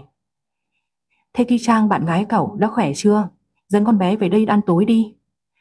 Xà cô ấy mới phẫu thuật, nên để dịp khác con dẫn cô ấy về. Thế ca phẫu thuật tốt chưa? Dạ tốt ạ, con cảm ơn chủ tịch. Ta coi cậu như con của ta mà. Nên sau này ta lo liệu mọi chuyện đại sự cho cậu. Cậu đừng lo gì cả, hiểu ý ta không? Dạ vâng, con cảm ơn chủ tịch nhiều lắm. Ừ, sau này cậu kết hôn, ta sẽ tặng cho cậu một căn nhà, coi như là quà cưới. Mua ở đâu thì do cậu tự chọn rồi bảo với ta nhé. Dạ vâng con cảm ơn chủ tịch nhiều. Cả đời này con mang ơn chủ tịch. Người một nhà, có đừng nói khách sáo như vậy chứ. Thôi chúng ta ra ngoài ăn tối thôi. Dạ vâng ạ. Thử ký Nam vui mừng lắm. Anh là trẻ mồ côi, ngày nhỏ sống ở cô nhi viện. Một lần chủ tịch và phu nhân tới cô nhi viện, thấy anh rụt rè, nhút nhát, ngồi ở góc nhà chính. Ngài chủ tịch đã lại gần và bế anh lên. Sau một hồi hỏi han về anh, thì ông chủ tịch đã nhận nuôi anh và đưa anh về sống cùng ở biệt thự.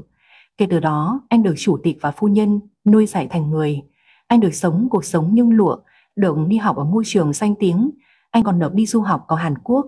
Những ân tình đó cả đời này anh sẽ không bao giờ quên. Bữa tiệc vui vẻ như thế, nhưng Hải Quân lại không thấy vui, anh uống hơi nhiều. Kiều ngồi cạnh anh khẽ nói, anh à, anh uống ít thôi. Hải Quân thở dài rồi nói, cô nói ít thôi. Anh à, cơm mồm đi. Tất cả mọi người quay lại nhìn Hải Quân, phu nhân vội nói, Quân, sao con lại nói với Kiều như thế? Bởi vì cô ta lại nhảy nhiều quá, con váng đầu.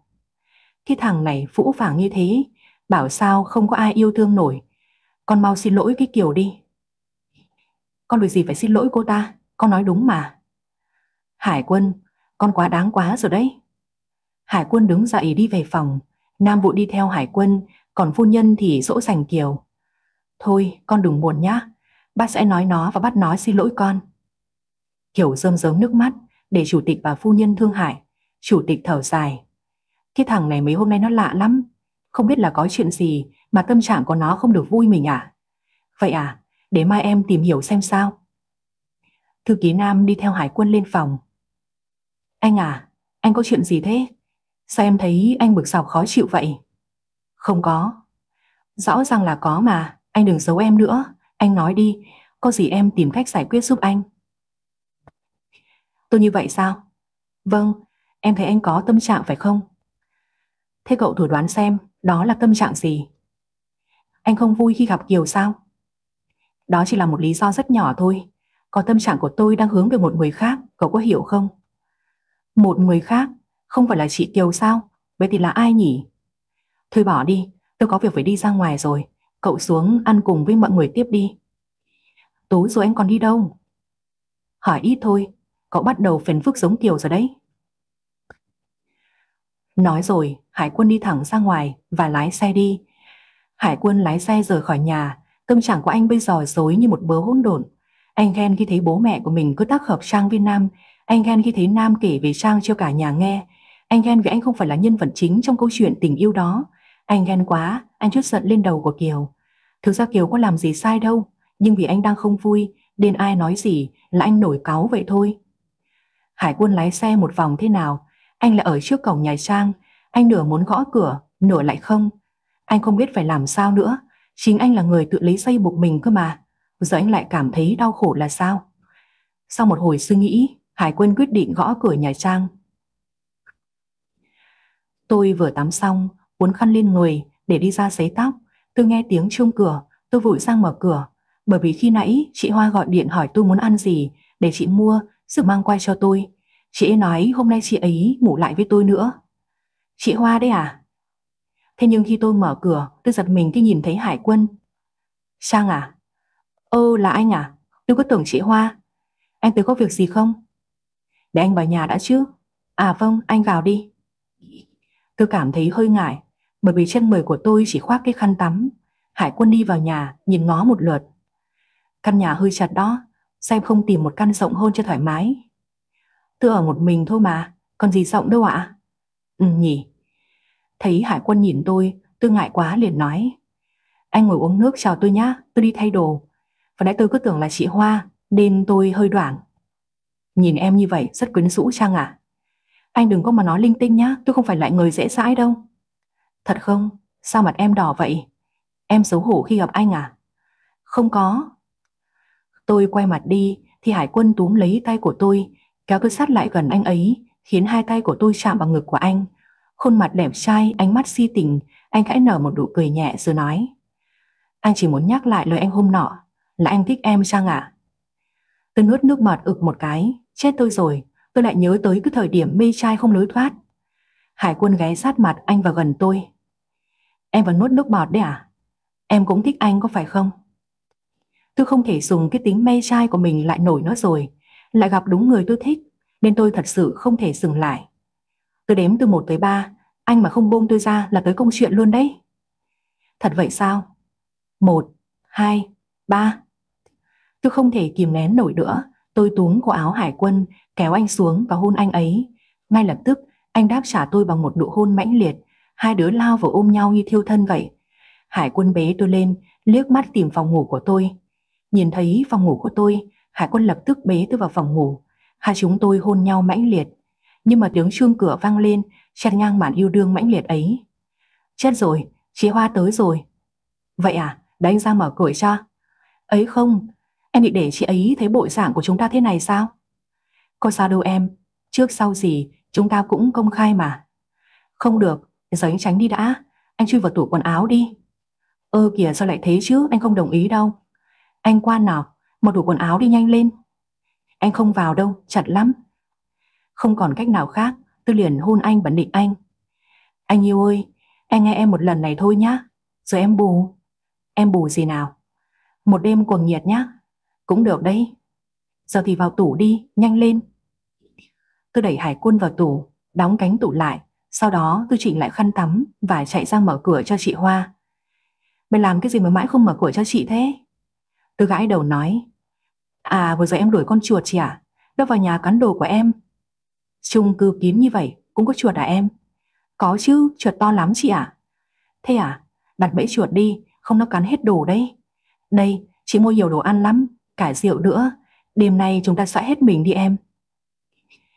Vì Hải Quân đang trốn trong tủ quần áo nên tôi không muốn chị Hoa lại chơi. Nhưng tôi biết phải làm sao bây giờ. Không lẽ đuổi chị ấy về sao? Lúc chiều tôi hẹn với chị ấy rồi. Đêm nay chỉ còn ở lại nhà tôi nữa. Tôi chưa biết phải tính sao đây. Chị Hoa hào hứng bày đồ ăn ra, chị lấy ly rượu ra rót. Nào, chúng ta cạn ly, chúc mừng em tai qua nạn khỏi nào. Dạ vâng, em cảm ơn chị. Hôm nào em đi làm, con Linh lại tức nổ mắt cho mà xem. Chị cứ kệ nó đi chị, nó không làm gì được em đâu, nên chị đừng có lo. Ở mà thôi, không nhóc tới nó nữa, mất hứng lắm. Nào, cạn ly đi em.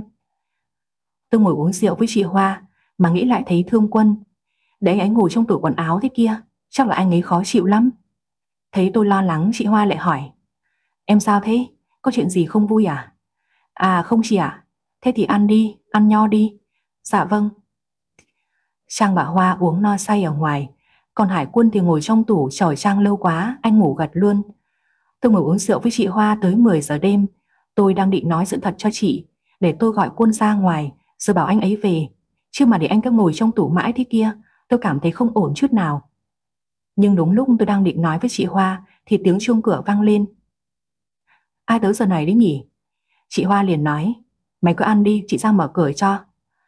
Chị Hoa ra mở cửa, tôi tròn xe mắt ngạc nhiên. Sang ơi, cha đẹp của em tới này. Thư ký Nam lễ phép chào chị Hoa. Dạ, em chào chị ạ. Em mau vào đi, vì cha đang ở trong nhà đấy. Vâng chị. Tôi vô cùng hoang mang khi nhìn thấy thư ký Nam đi vào. Trên tay anh ấy là một giỏ hoa quả và một bó hoa hồng lớn. Sang, em khỏe hẳn chưa mà đã uống rượu thế? À tôi khỏe rồi mà, sao muộn rồi em còn tới đây vậy? Thư ký Nam đưa bà hoa cho tôi và nhẹ nhàng nói Tặng em này, thật là ngại quá, cảm ơn anh. Thấy thư ký Nam tới, chị Hoa liền tính bài chuồn để tôi và thư ký Nam có thời gian riêng tư. Trang ơi, chị có việc phải về nhà đây, có gì ngày mai chị qua nhá. Ơ kìa chị, chị bảo lại đây với em cơ mà. Chị xin lỗi, nhưng mà chị bận việc đột xuất em à, em thông cảm cho chị nhá. Thôi chị về đây. Thư ký Nam gật đầu nói, vâng, vậy chị về nhá. Chị Hoa đứng dậy lấy túi sách đi về, thì nghe tiếng động lạ chị mới hỏi. Trang ơi, có tiếng gì kêu lạ lạ thế em nhỉ? Đâu, có tiếng gì đâu chị? Thư ký Nam lắng tai nghe rồi gật đầu nói. Đúng là có tiếng động lạ thật đấy. Hình như tiếng động ấy phát ra từ trong phòng kia kìa. Đó là phòng ngủ của tôi. Không lẽ... Chị Hoa và thư ký Nam đi về phía phòng ngủ của tôi, chợt nhớ ra là phòng ngủ, Hải Quân đang trốn ở trong tủ quần áo. Tôi vội chạy theo, kéo thư ký Nam và chị Hoa lại. Ấy, không có gì trong đó đâu à? Em có nghe thấy tiếng gì đâu? Có mà. Tiếng này cứ giống tiếng gáy. Ủa, sao lại có tiếng ngáy trong phòng ngủ thế nhỉ? Đâu có đâu chị ơi. Chị Hoa không nghe tôi nói mà chị xông thẳng vào trong phòng ngủ. Thiêu ký Nam cũng tò mò đi theo. Thế là chết tôi rồi, hỏng hết rồi. Ông Hải Quân trốn trong tủ quần áo, thế mà ông ngáy vang cả nhà như thế, đến hàng xóm còn nghe thấy, nói gì người trong nhà. Thư ký Nam đi lại, mở cánh tủ ra, thì thấy Hải Quân đang ngồi trong tủ, há mồm ra ngủ trong tủ như thế. Nam gãi đầu nói, bảo sao nghe tiếng ngáy cứ quen quen, hóa ra là anh Quân. Chị Hoa lườm đưa rồi nói, Trang, xem dấu anh ta ở trong tủ thế. Tôi ngại quá không biết phải nói sao nữa. Lúc này Giá mà cái nền nhà nó thủng một lỗ, tôi chui xuống đó luôn cho đỡ xấu hổ. Tôi lý nhí giải thích. À, lúc tối anh Quân tới đây chơi, sau đó thì chị tới, nên anh ấy ngại quá, anh ấy chui vào đó trốn đấy chị ạ. Em đang tính gọi anh ấy ra, để anh ấy về. Thế anh Nam lại tới, nên thành ra như vậy đó chị. Chị Hoa nhìn tôi với ánh mắt nghi ngờ. Có thật không hả? Sao chị thấy ánh mắt em màu ám lắm đấy Trang ạ? Thật mà chị, chị phải tin em chứ.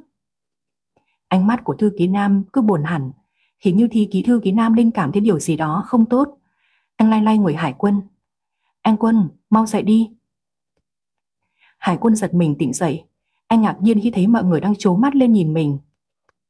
Sao mọi người nhìn tôi kỳ thế? Thư ký Nam, cậu cũng ở đây sao? Vâng, em vừa tới. Sao lại chui vào trong tủ quần áo của Trang ngủ vậy? À, tại vì tôi muốn làm cho mọi người bất ngờ, nhưng hình như bị lỗi kỹ thuật rồi thì phải. Thật là ngại quá nhỉ? Vâng, cơ mà anh náy to quá đấy. Hải quân ngại quá cứ vò đầu bứt tai. Chắc là do hôm trước tôi mất ngủ nên người mệt vậy đó. Đúng là chớ trêu thật mọi người à. Tôi chưa bao giờ nghĩ cuộc đời tôi lại có lúc rơi vào tình huống chớ treo thế này đâu. Tôi cảm thấy xấu hổ lắm ấy. Cuối cùng thì tôi và chị Hoa cùng Hải quân và Thư ký Nam, bốn người chúng tôi cùng ngồi xuống uống rượu với nhau. Chị Hoa dường như hiểu được vấn đề là cả hai người đàn ông đang thích tôi, nên chị ấy đã ở lại để cứu tôi khỏi tình huống chớ trêu này. Một tiếng sau đó, chị Hoa ở lại ngủ cùng tôi, còn Hải quân và Thư ký Nam đứng dậy ra về. Kể từ sau giây phút đó, Hải quân và Thư ký Nam đã nhìn nhau bằng ánh mắt khác. Tôi và chị Hoa lên giường nằm, chị Hoa hỏi tôi. Hải quân và Nam đều rất thích em đấy. Vâng, em biết điều đó. Nhưng mà người em thích là Hải quân chị ạ. Vậy thì tội cho Nam quá. Nhưng thôi kệ đi. Tình yêu là phải xuất phát từ hai phía mà. Đâu thể ép gượng được đâu, đúng không? Dạ vâng, lần này Hải quân sẽ thấy khó xử lắm chị. Bởi vì chính anh ấy là người mai mối cho em với thư ký Nam. Giờ khi Nam bắt đầu có tình cảm với em, thì Hải quân lại là người xen vào. Khó xử thật. Ừ, khó xử thật đó. Mà thôi, chị tin là Hải quân và Nam sẽ tự biết cách giải quyết mọi chuyện. Em đừng có suy nghĩ nhiều nữa, nghỉ ngơi cho khỏe đi. Dạ vâng chị. Hải quân và thư ký Nam trở về nhà. Thư ký Nam định đi về phòng ngủ, thì Hải quân nói. Nam, chúng ta nói chuyện một lát đi. Vâng, anh nói đi. Sang cậu biết tôi định nói gì với cậu phải không? Anh thích Sang à? Hải quân gật đầu trả lời. Đúng vậy. Thư ký Nam khó chịu, anh cởi áo vest ra rồi nói. Anh thích sang vậy, sao lại nói với em là anh muốn gả sang cho em? Anh nói anh là bố dưỡng của sang anh sẽ gả chồng cho sang và anh là người tin tưởng em mà. Anh mai mối các kiểu, anh còn bắt em gọi anh bằng bố cơ mà. Sao bây giờ anh lại là người thứ ba xem vào chuyện tình cảm của em với Trang chứ? Hải quân thở dài rồi nói. Đúng là lúc đó tôi đã nghĩ như vậy. Nhưng từ khi Trang bị giảm thị lực, tôi lại phát hiện ra bản thân mình thích Trang và tôi không muốn làm bố sượng của Trang nữa. Vậy còn em thì sao? Anh mai mối vun vén cho em. Từ khi em thích Trang và quyết định theo đuổi cô ấy, anh lại là người đẩy em ra xa. Anh không nghĩ tới cảm xúc của em không hả? Anh gieo cho em hy vọng, anh lại đẩy em ra xa giống vực thảm như vậy. Nam à, tôi xin lỗi. em không cần xin lỗi em. Em cần sang, Anh làm ơn đi, đừng cướp Trang của em có được không? Nam à, em yêu Trang, 26 năm cuộc đời. Cho tới tận bây giờ em mới có tình cảm với một cô gái. Nên em xin anh đừng phá vỡ tình cảm của em được không? Em xin anh hãy tác thành cho em và Trang đi. Em cầu xin anh đấy. Nam à, tình yêu đâu phải là thứ tình cảm dư thừa mà có thể xin cho được chứ. Cậu bình tĩnh rồi suy nghĩ lại đi. Chỉ cần anh chủ động rời sai Trang, thì em tin Trang sẽ hướng về em thôi. Anh đừng có gặp Trang nữa. Chính anh là người mai mối cho Trang cho em mà. Anh đừng có mút lời như vậy chứ. Hải quân không biết phải nói sao để thư ký Nam hiểu nữa. Giờ ngoài câu xin lỗi ra, thì Hải quân không biết phải nói gì cả. Thư ký Nam buồn bã đi về phòng. Anh mở ví ra trong một ngăn nhỏ. Anh lôi ra tấm ảnh của Trang. Anh ấy để mình hy vọng sẽ đẩy mình đi. Tại sao chứ? Tại sao lại mang niềm tin tới cho mình? Rồi bây giờ lại mang niềm tin đó đi. Tại sao? Thư ký Nam buồn bã, Cả đêm không chợp mắt, Cả Hải quân cũng vậy. Đêm qua anh cũng không thể ngủ được. Anh đừng nghĩ sẽ quên đi Trang, Nhưng khi nhìn thấy Trang, Anh lại mất hết lý trí và không thể quên Trang được. Anh dậy thay quần áo, Đi xuống phòng khách. Anh thấy mẹ mình đang ngồi nói chuyện với thư ký Nam. Nam, Sao mắt con thâm quầng thế? Con mất ngủ đấy à? Dạ vâng con khó ngủ, phu nhân đừng lo nhé. Thế có chuyện gì thế con? Dạ không có gì ạ. À? à, tối nay con dẫn bạn gái về nhà ăn cơm nhá, ta sẽ bảo đầu bếp nấu nhiều món ngon. Nam thở dài rồi nói, chắc để dịp khác phu nhân à, nay con hơi mệt, con không muốn làm gì cả, thế con đi làm đi ạ. À? Ừ, thế con không đi cùng với hải quân sao? Dạ không ạ. Nói rồi thư cứ Nam đi thẳng, hải quân đi qua, phu nhân liền gọi. Hải quân, lại mẹ hỏi đây. Có chuyện gì không ạ? Con đang bận đấy. Sao nhìn con với thư ký Nam lạ thế? Hai đứa có chuyện gì sao? Dạ không có gì đâu mẹ, tụi con đi làm đây. Không có chuyện gì, thế mà hai đứa lại không đi cùng xe là sao? Mỗi đứa đi một xe là thế nào chứ? Hải quân không nói gì đi thẳng ra xe ô tô. Kiều ở trên lầu nhìn xuống, cô nhẹ nhàng nói. Ba ơi, anh Hải quân với thư ký Nam có chuyện rồi bác ạ. Thế vậy là sao? Hai đứa nó có chuyện gì xảy ra vậy? Bác cứ ngồi xuống đi, cháu kể cho mà nghe. Cháu mau kể đi nào. Anh Hải quân với thư ký Nam cũng yêu một cô gái tên là Sam. Đêm qua cháu vô tình nghe được anh quân với thư ký Nam nói chuyện với nhau ở bên ngoài hiên đó bác. Có chuyện đó thật sao? Vâng ạ. Thư ký Nam còn trách móc anh quân. Chắc mới xa lần này là anh quân rồi. đêm thư ký Nam mới giận vậy đó. Cháu làm bác tò mò với cô gái tên Trang đó rồi đó. Cháu cũng vậy. Cháu cũng chưa thỉnh dung ra mặt mũi cô ta thế nào. Để cả hai người đàn ông của tập đoàn Hải quân thích thì chị ta cũng không phải là dạng vừa đâu. Phu nhân thở dài giọng không vui. Nghe cháu nói vậy, ta thấy không ưng cô gái đó rồi. Kiểu đứng núi này trông núi nọ, thế là không được. Nên yêu một người thôi, chứ sao lại lằng nhằng với cả hai người là sao? Bác nói đúng đấy. Xem ra chị ta là cái loại người không ra gì. Kiều, cho giúp bác tìm hiểu chuyện này xem sao nhá, để bác còn tính. Vâng ạ, cháu đi tìm hiểu ngay. Hải quân và thư ký Nam cả ngày hôm nay không nói chuyện với nhau. Ai có việc gì người đó làm. Thư ký Nam còn cố tình tránh mặt Hải quân. Hải quân cũng không vui vẻ gì, nên vừa hết giờ làm, thấy thư ký Nam chuẩn bị về, Hải quân liền nói. Nam, cậu ở lại tôi bảo. Có chuyện gì vậy? Hải quân sở tin nhắn ra đưa cho Nam xem. Cậu đọc tin nhắn Trang gửi cho tôi đi. Tôi yêu cô ấy và cô ấy cũng yêu tôi. Chúng tôi yêu nhau, nên tôi mong cậu hãy bỏ qua và tác hợp với chúng tôi nhé. Tôi không chấp nhận anh lừa tôi. Tôi không lừa cậu, đó là sự thật. Xin lỗi cậu bởi vì lúc đó tôi chưa xác định được tình cảm của mình, nên tôi muốn mai mối trăng cho cậu. Tôi xin lỗi cậu. Cậu hãy nể tình chúng ta là anh em bao lâu nay và bỏ qua cho tôi được không? Tôi sẽ bồi thường cho cậu. Anh bồi thường cái gì cho tôi? Siêu xe 13 tỷ hay siêu xe 16 tỷ hay đồng hồ Rolex. Đồ của tôi cậu thích gì cứ lấy đi. Tôi thích Trang, anh cho tôi đi. Tôi có thể cho cậu tất cả mọi thứ ngoại trừ Trang. Mong cậu hiểu cho tôi. Thế thì thôi, tôi nghĩ chúng ta không thể nói chuyện thêm được nữa đâu. Tôi về trước đây. Thư ký Nam lạnh lùng bỏ đi. Hải quân thời dài mệt mỏi. Anh không biết phải nói sao để Nam hiểu cho anh nữa. Anh cảm thấy vô cùng khó xử. Chuyện này có lẽ phải để Trang nói cho Nam hiểu vậy. Tôi đang ở nhà và nghĩ xem tôi phải nói thế nào để thư ký Nam hiểu và không trách móc hải quân nữa thì thư ký Nam tìm tôi. Anh vui vẻ như không có chuyện gì cả. Sang, em làm gì thế? Tôi không làm gì cả. Anh ngồi đi tôi lấy nước. Cảm ơn em. Tôi lấy nước rồi mang ra cho thư ký Nam. Anh uống nước đi, giờ chúng ta nói chuyện một lát nhé. Em muốn nói với anh chuyện gì thế? Thư ký Nam mà, tôi biết anh rất tốt với tôi, nhưng mà tôi không thể đáp lại tình cảm của anh được. Cho anh cũng biết lý do rồi đấy. Tôi mong anh hãy bỏ qua cho tôi vài quân được không? Anh nói cái gì lạ thế? Anh và Hải quân vẫn bình thường mà. Thư ký Nam à, anh đang cố chấp làm khó bạn thân của anh đó. Anh hãy cho qua chuyện này và mở lòng với một cô gái khác đi. Tôi tin là anh sẽ tìm được một người phù hợp với mình. Sang à, anh rất thích em. Nhưng tôi không thích anh. Người mà tôi thích là Hải quân.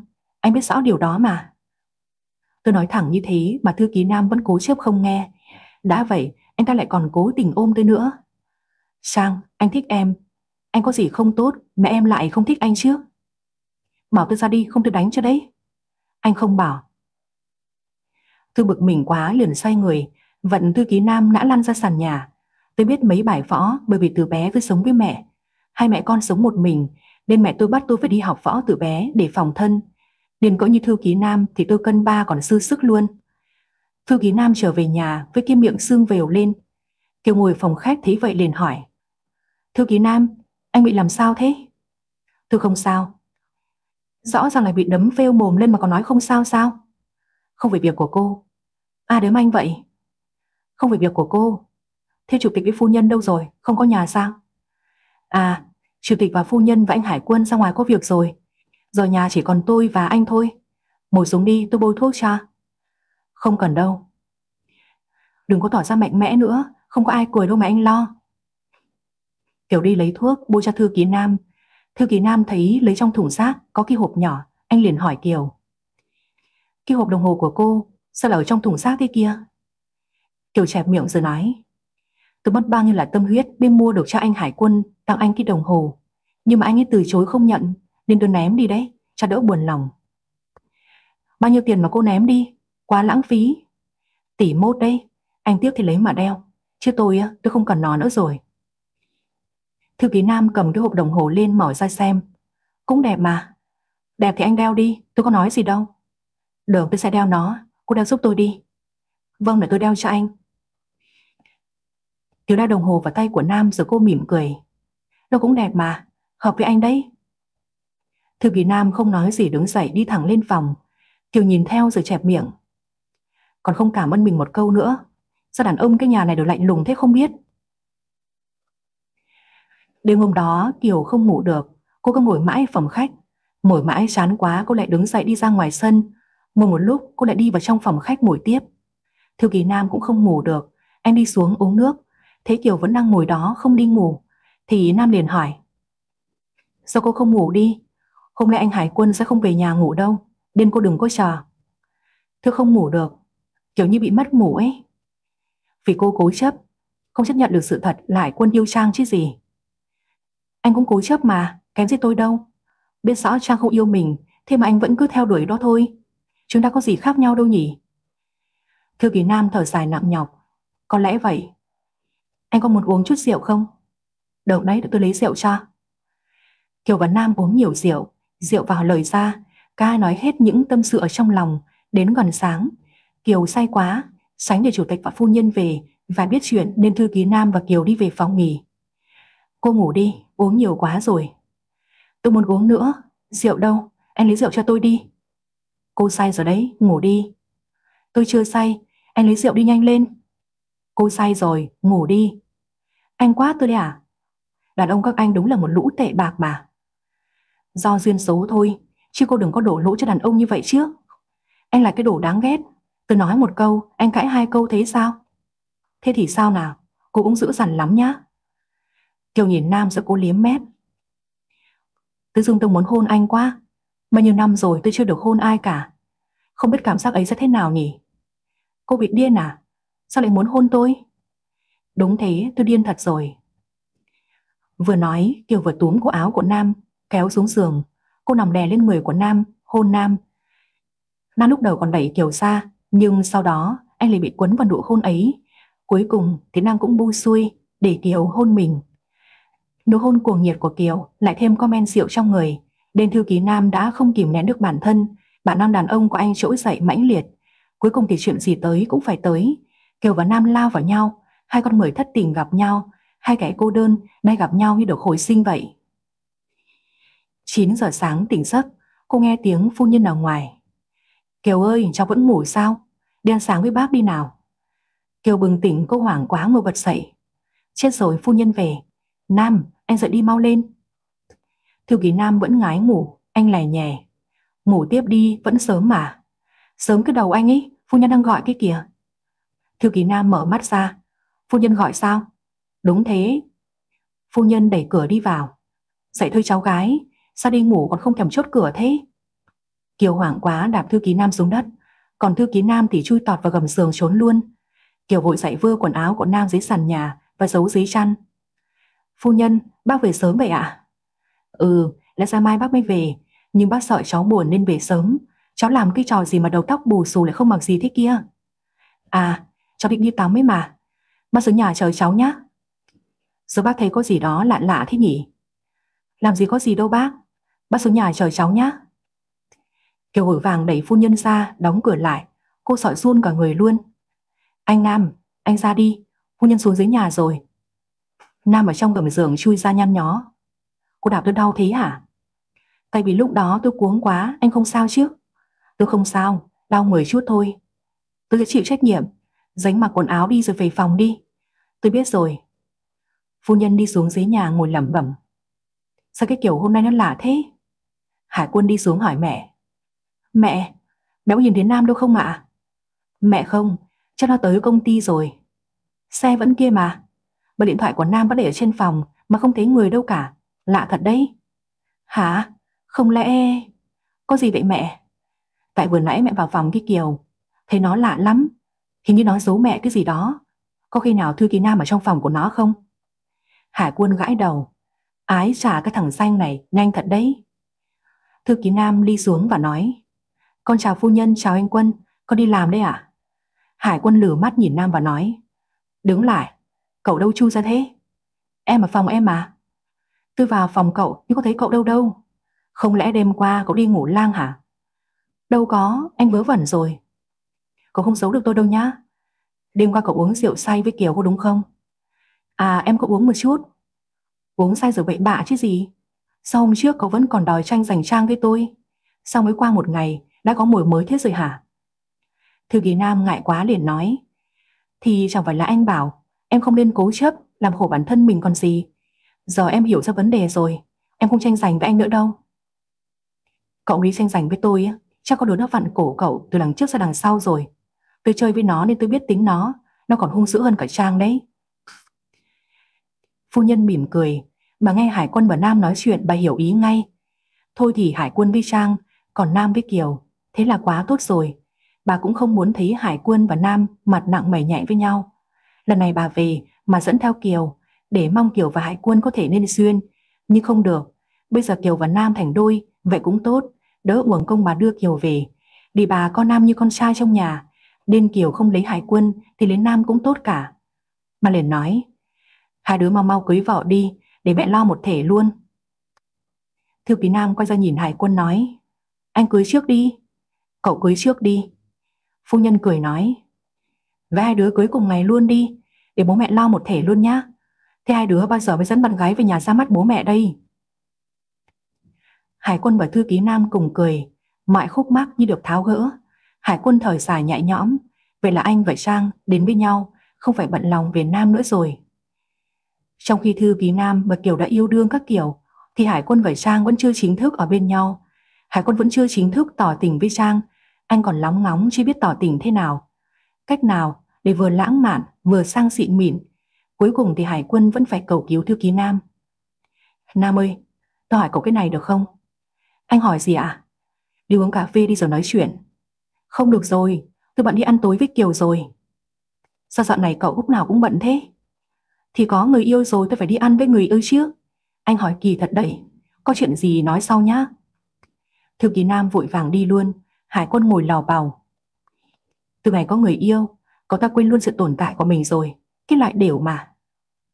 Nấy, nam tám nữ tám hạnh phúc bên nhau, còn nam chính nữ chính thì vẫn còn ngại ngùng, chưa biết tỏ tình ra sao. Cuộc đời cũng lắm bi hài thật. 10 giờ đêm, thư ký Nam và Kiều ly chơi về. Hai người về tới nhà vẫn thấy Hải quân một đợi phẩm khách. Hai người về muộn thế hả? Kiều ngại không nói gì, đi ngủ trước, còn thư ký Nam ngồi lại nói chuyện với Hải quân. Anh muốn hỏi chuyện gì nào? Giờ tôi rảnh rồi đấy, anh hỏi đi. Này, tôi muốn hỏi cậu, tôi muốn tỏ tình với Trang thì tỏ tình thế nào nhỉ? Thư ký Nam ngạc nhiên hỏi Em vẫn chưa tỏ tình với Trang sao? Ừ, anh đùa đấy à? Thật mà Cậu nghĩ xem giúp tôi Tôi phải làm gì bây giờ? Xanh lại hỏi tôi Tôi không dành mấy chuyện này đâu Thì trước có tỏ tình với Kiều thế nào? Tôi có tỏ tình đâu Tự dưng yêu nhau với chứ Tự dưng yêu nhau sao? Không cần tỏ tình sao? Thì hôm đó tôi và Kiều say rượu xong ngủ với nhau. Rồi ngày hôm sau cả tôi và cô ấy Đều cảm thấy phải có trách nhiệm với nhau. Giờ cứ thế yêu nhau thôi. Tôi tưởng anh thế nào, Hóa ra cũng là cái đổ nhát gái. Kiều còn cười tới sao Thôi được rồi, để tôi giúp anh nhá. Nhưng mà tôi không giúp không công đâu. Được rồi, cậu muốn gì cứ nói đi. Tôi muốn mua một chiếc xe ô tô, Nhưng tôi thiếu tiền. Anh bơm tiền nhá. Ui giờ tưởng chuyện gì. Chuyện nhỏ mà Cậu biết cách giúp tôi đi Được Thế làm theo cách này đi Cách gì vậy Anh chuẩn bị nhẫn và một chiếc bánh kem thật đẹp đi, một bá hoa nữa. Tôi bày cách tiếp theo cho. Được rồi, để mai tôi đi mua nhẫn cả hoa. Quan trọng là phải nói sao cho hợp lý nữa đó. Yên tâm đi, tôi mà đã ra tay á, thì anh sẽ thành công thôi. Tôi tin tưởng cậu. Ngày hôm sau, Hải quân đặt một bó hoa hồng lớn, một nghìn bông hồng đẹp, một chiếc bánh kem 5 tầng to và một chiếc nhẫn kim cương. Chỉ cần nhân vật chính xuất hiện thôi là tỏ tình. Tôi chuẩn bị tan làm thì Hải quân nhắn tin bảo tôi tới nhà hàng ẩm thực gặp anh ấy. Anh ấy nói tôi tới đó luôn vì anh đang chờ tôi ở đó. Tôi mỉm cười rồi nhanh chóng đi tới điểm hẹn. Tôi vừa tới thì nhân viên nhà hàng đã ra chào tôi rồi nói Dạ em chào chị, bạn chị đang chờ bàn số 2. Ừ chị cảm ơn em nhé. Tôi đẩy cửa phòng ra bước vào thì Hải quân đứng ôm bó hoa hồng bên cạnh chiếc bánh kem rất to. Em yêu tới rồi. Anh à, anh mua hoa với bánh kem tặng em đấy à? Hôm nay có phải là sinh nhật em đâu. Giờ Hải quân tiến lại gần phía tôi, quỳ xuống tỏ tình với tôi. Trang à, anh thật sự rất thích em. Em đồng ý để anh được ở bên em, chăm sóc em nhé. Anh Quân, đồng ý làm bạn gái của anh nhé. Trời ơi, anh ngốc thật đi. Anh đâu cần phải như vậy đâu. Vì em lổ anh từ cái lần chúng ta ở bên nhau ở bệnh viện rồi. Thật không? Thật mà, em rất thích anh. Em thích anh từ lâu rồi ạ. Hải quân hạnh phúc ôm tôi vào lòng. Sau khi ôm nhau, hôn nhau tình cảm, chúng tôi tính đi lại cắt bánh ăn. Giữa khung cảnh lãng mạn thế này thì đôi giày cao gót của tôi lại phản chủ, khiến tôi bị trèo chân, loạn choạng ngã. Tôi bám tay vào bàn, Hải quân vội đỡ tôi. Em có sao không? Chân có đau không? Dạ em không sao. Thế nhưng tôi còn chưa kịp đứng dậy thì chiếc bánh kem to ấy đổ thẳng vào mặt của tôi và Hải quân. Mặt chúng tôi dính đầy kem kín mít cả mặt mũi, không nhìn thấy gì luôn. Cảm giác lúc đó thật khó diễn tả. Lúc mới bước vào phòng tôi từng nghĩ rằng cái bánh kem to thế, bao nhiêu người ăn được mới hết. Thì bây giờ nó đã dính be bét từ đầu xuống chân rồi. Hải quân vội lau kem trên mặt rồi tìm kiếm. Đâu rồi? Đâu rồi nhỉ? Anh tìm cái gì thế ạ? À? Chiếc nhẫn kim cương em à? Anh để nó trong cái bánh kem kia kìa. Bây giờ không biết nó đâu rồi nữa. Để em tìm giúp anh. Thế là hai đứa bới tung cái đống bánh kem trên sàn nhà vẫn tìm nhẫn. Xong mà hồi bới tung cả ra, tung cảnh me bét cái bánh kem, thì chúng tôi đã tìm về chiếc nhẫn kim cương đó. Mà lúc này, toàn thân của chúng tôi dính bánh kem be bét thế này, thì sao mà chúng tôi ngồi ăn được? Cách duy nhất là đi tắm, chứ toàn thân dính bánh kem nhấp nháp và khó chịu vô cùng. Chúng tôi bước ra khỏi phòng, ai cũng tròn xoe mắt nhìn chúng tôi. Chắc mấy người nhân viên họ nghĩ tại sao chúng tôi lại dính bánh kem thế này. Có thể nói đây là màn tỏ tình mà có lẽ cả đời này tôi sẽ không bao giờ quên. Vì không muốn ai nhìn thấy bộ dạng thê thảm này, nên chúng tôi đã tới một khách sạn để tắm. Hai đứa tắm rửa sạch sẽ và đã có một đêm lãng mạn không thể ngờ tới. Tôi đã kết thúc cuộc sống độc thân của mình từ đó. Một thời gian sau đó, đám cưới của tôi và Hải quân và thư ký Nam tổ chức chung một ngày ở khách sạn VIP nổi tiếng trong sự chúc phúc của mọi người. Hôn lễ kết thúc, thư ký Nam và Kiều ra ngoài sống trong căn nhà đẹp của chủ tịch mà phu nhân mua cho. Còn Hải quân và Trang sống cùng bố mẹ tại biệt thự. Đối với Trang thì Hải quân chính là hạnh phúc trời ban cho, để cô có thể nương tựa cả cuộc đời này. Còn thay người yêu cũ của Trang thì tới gần ngày cưới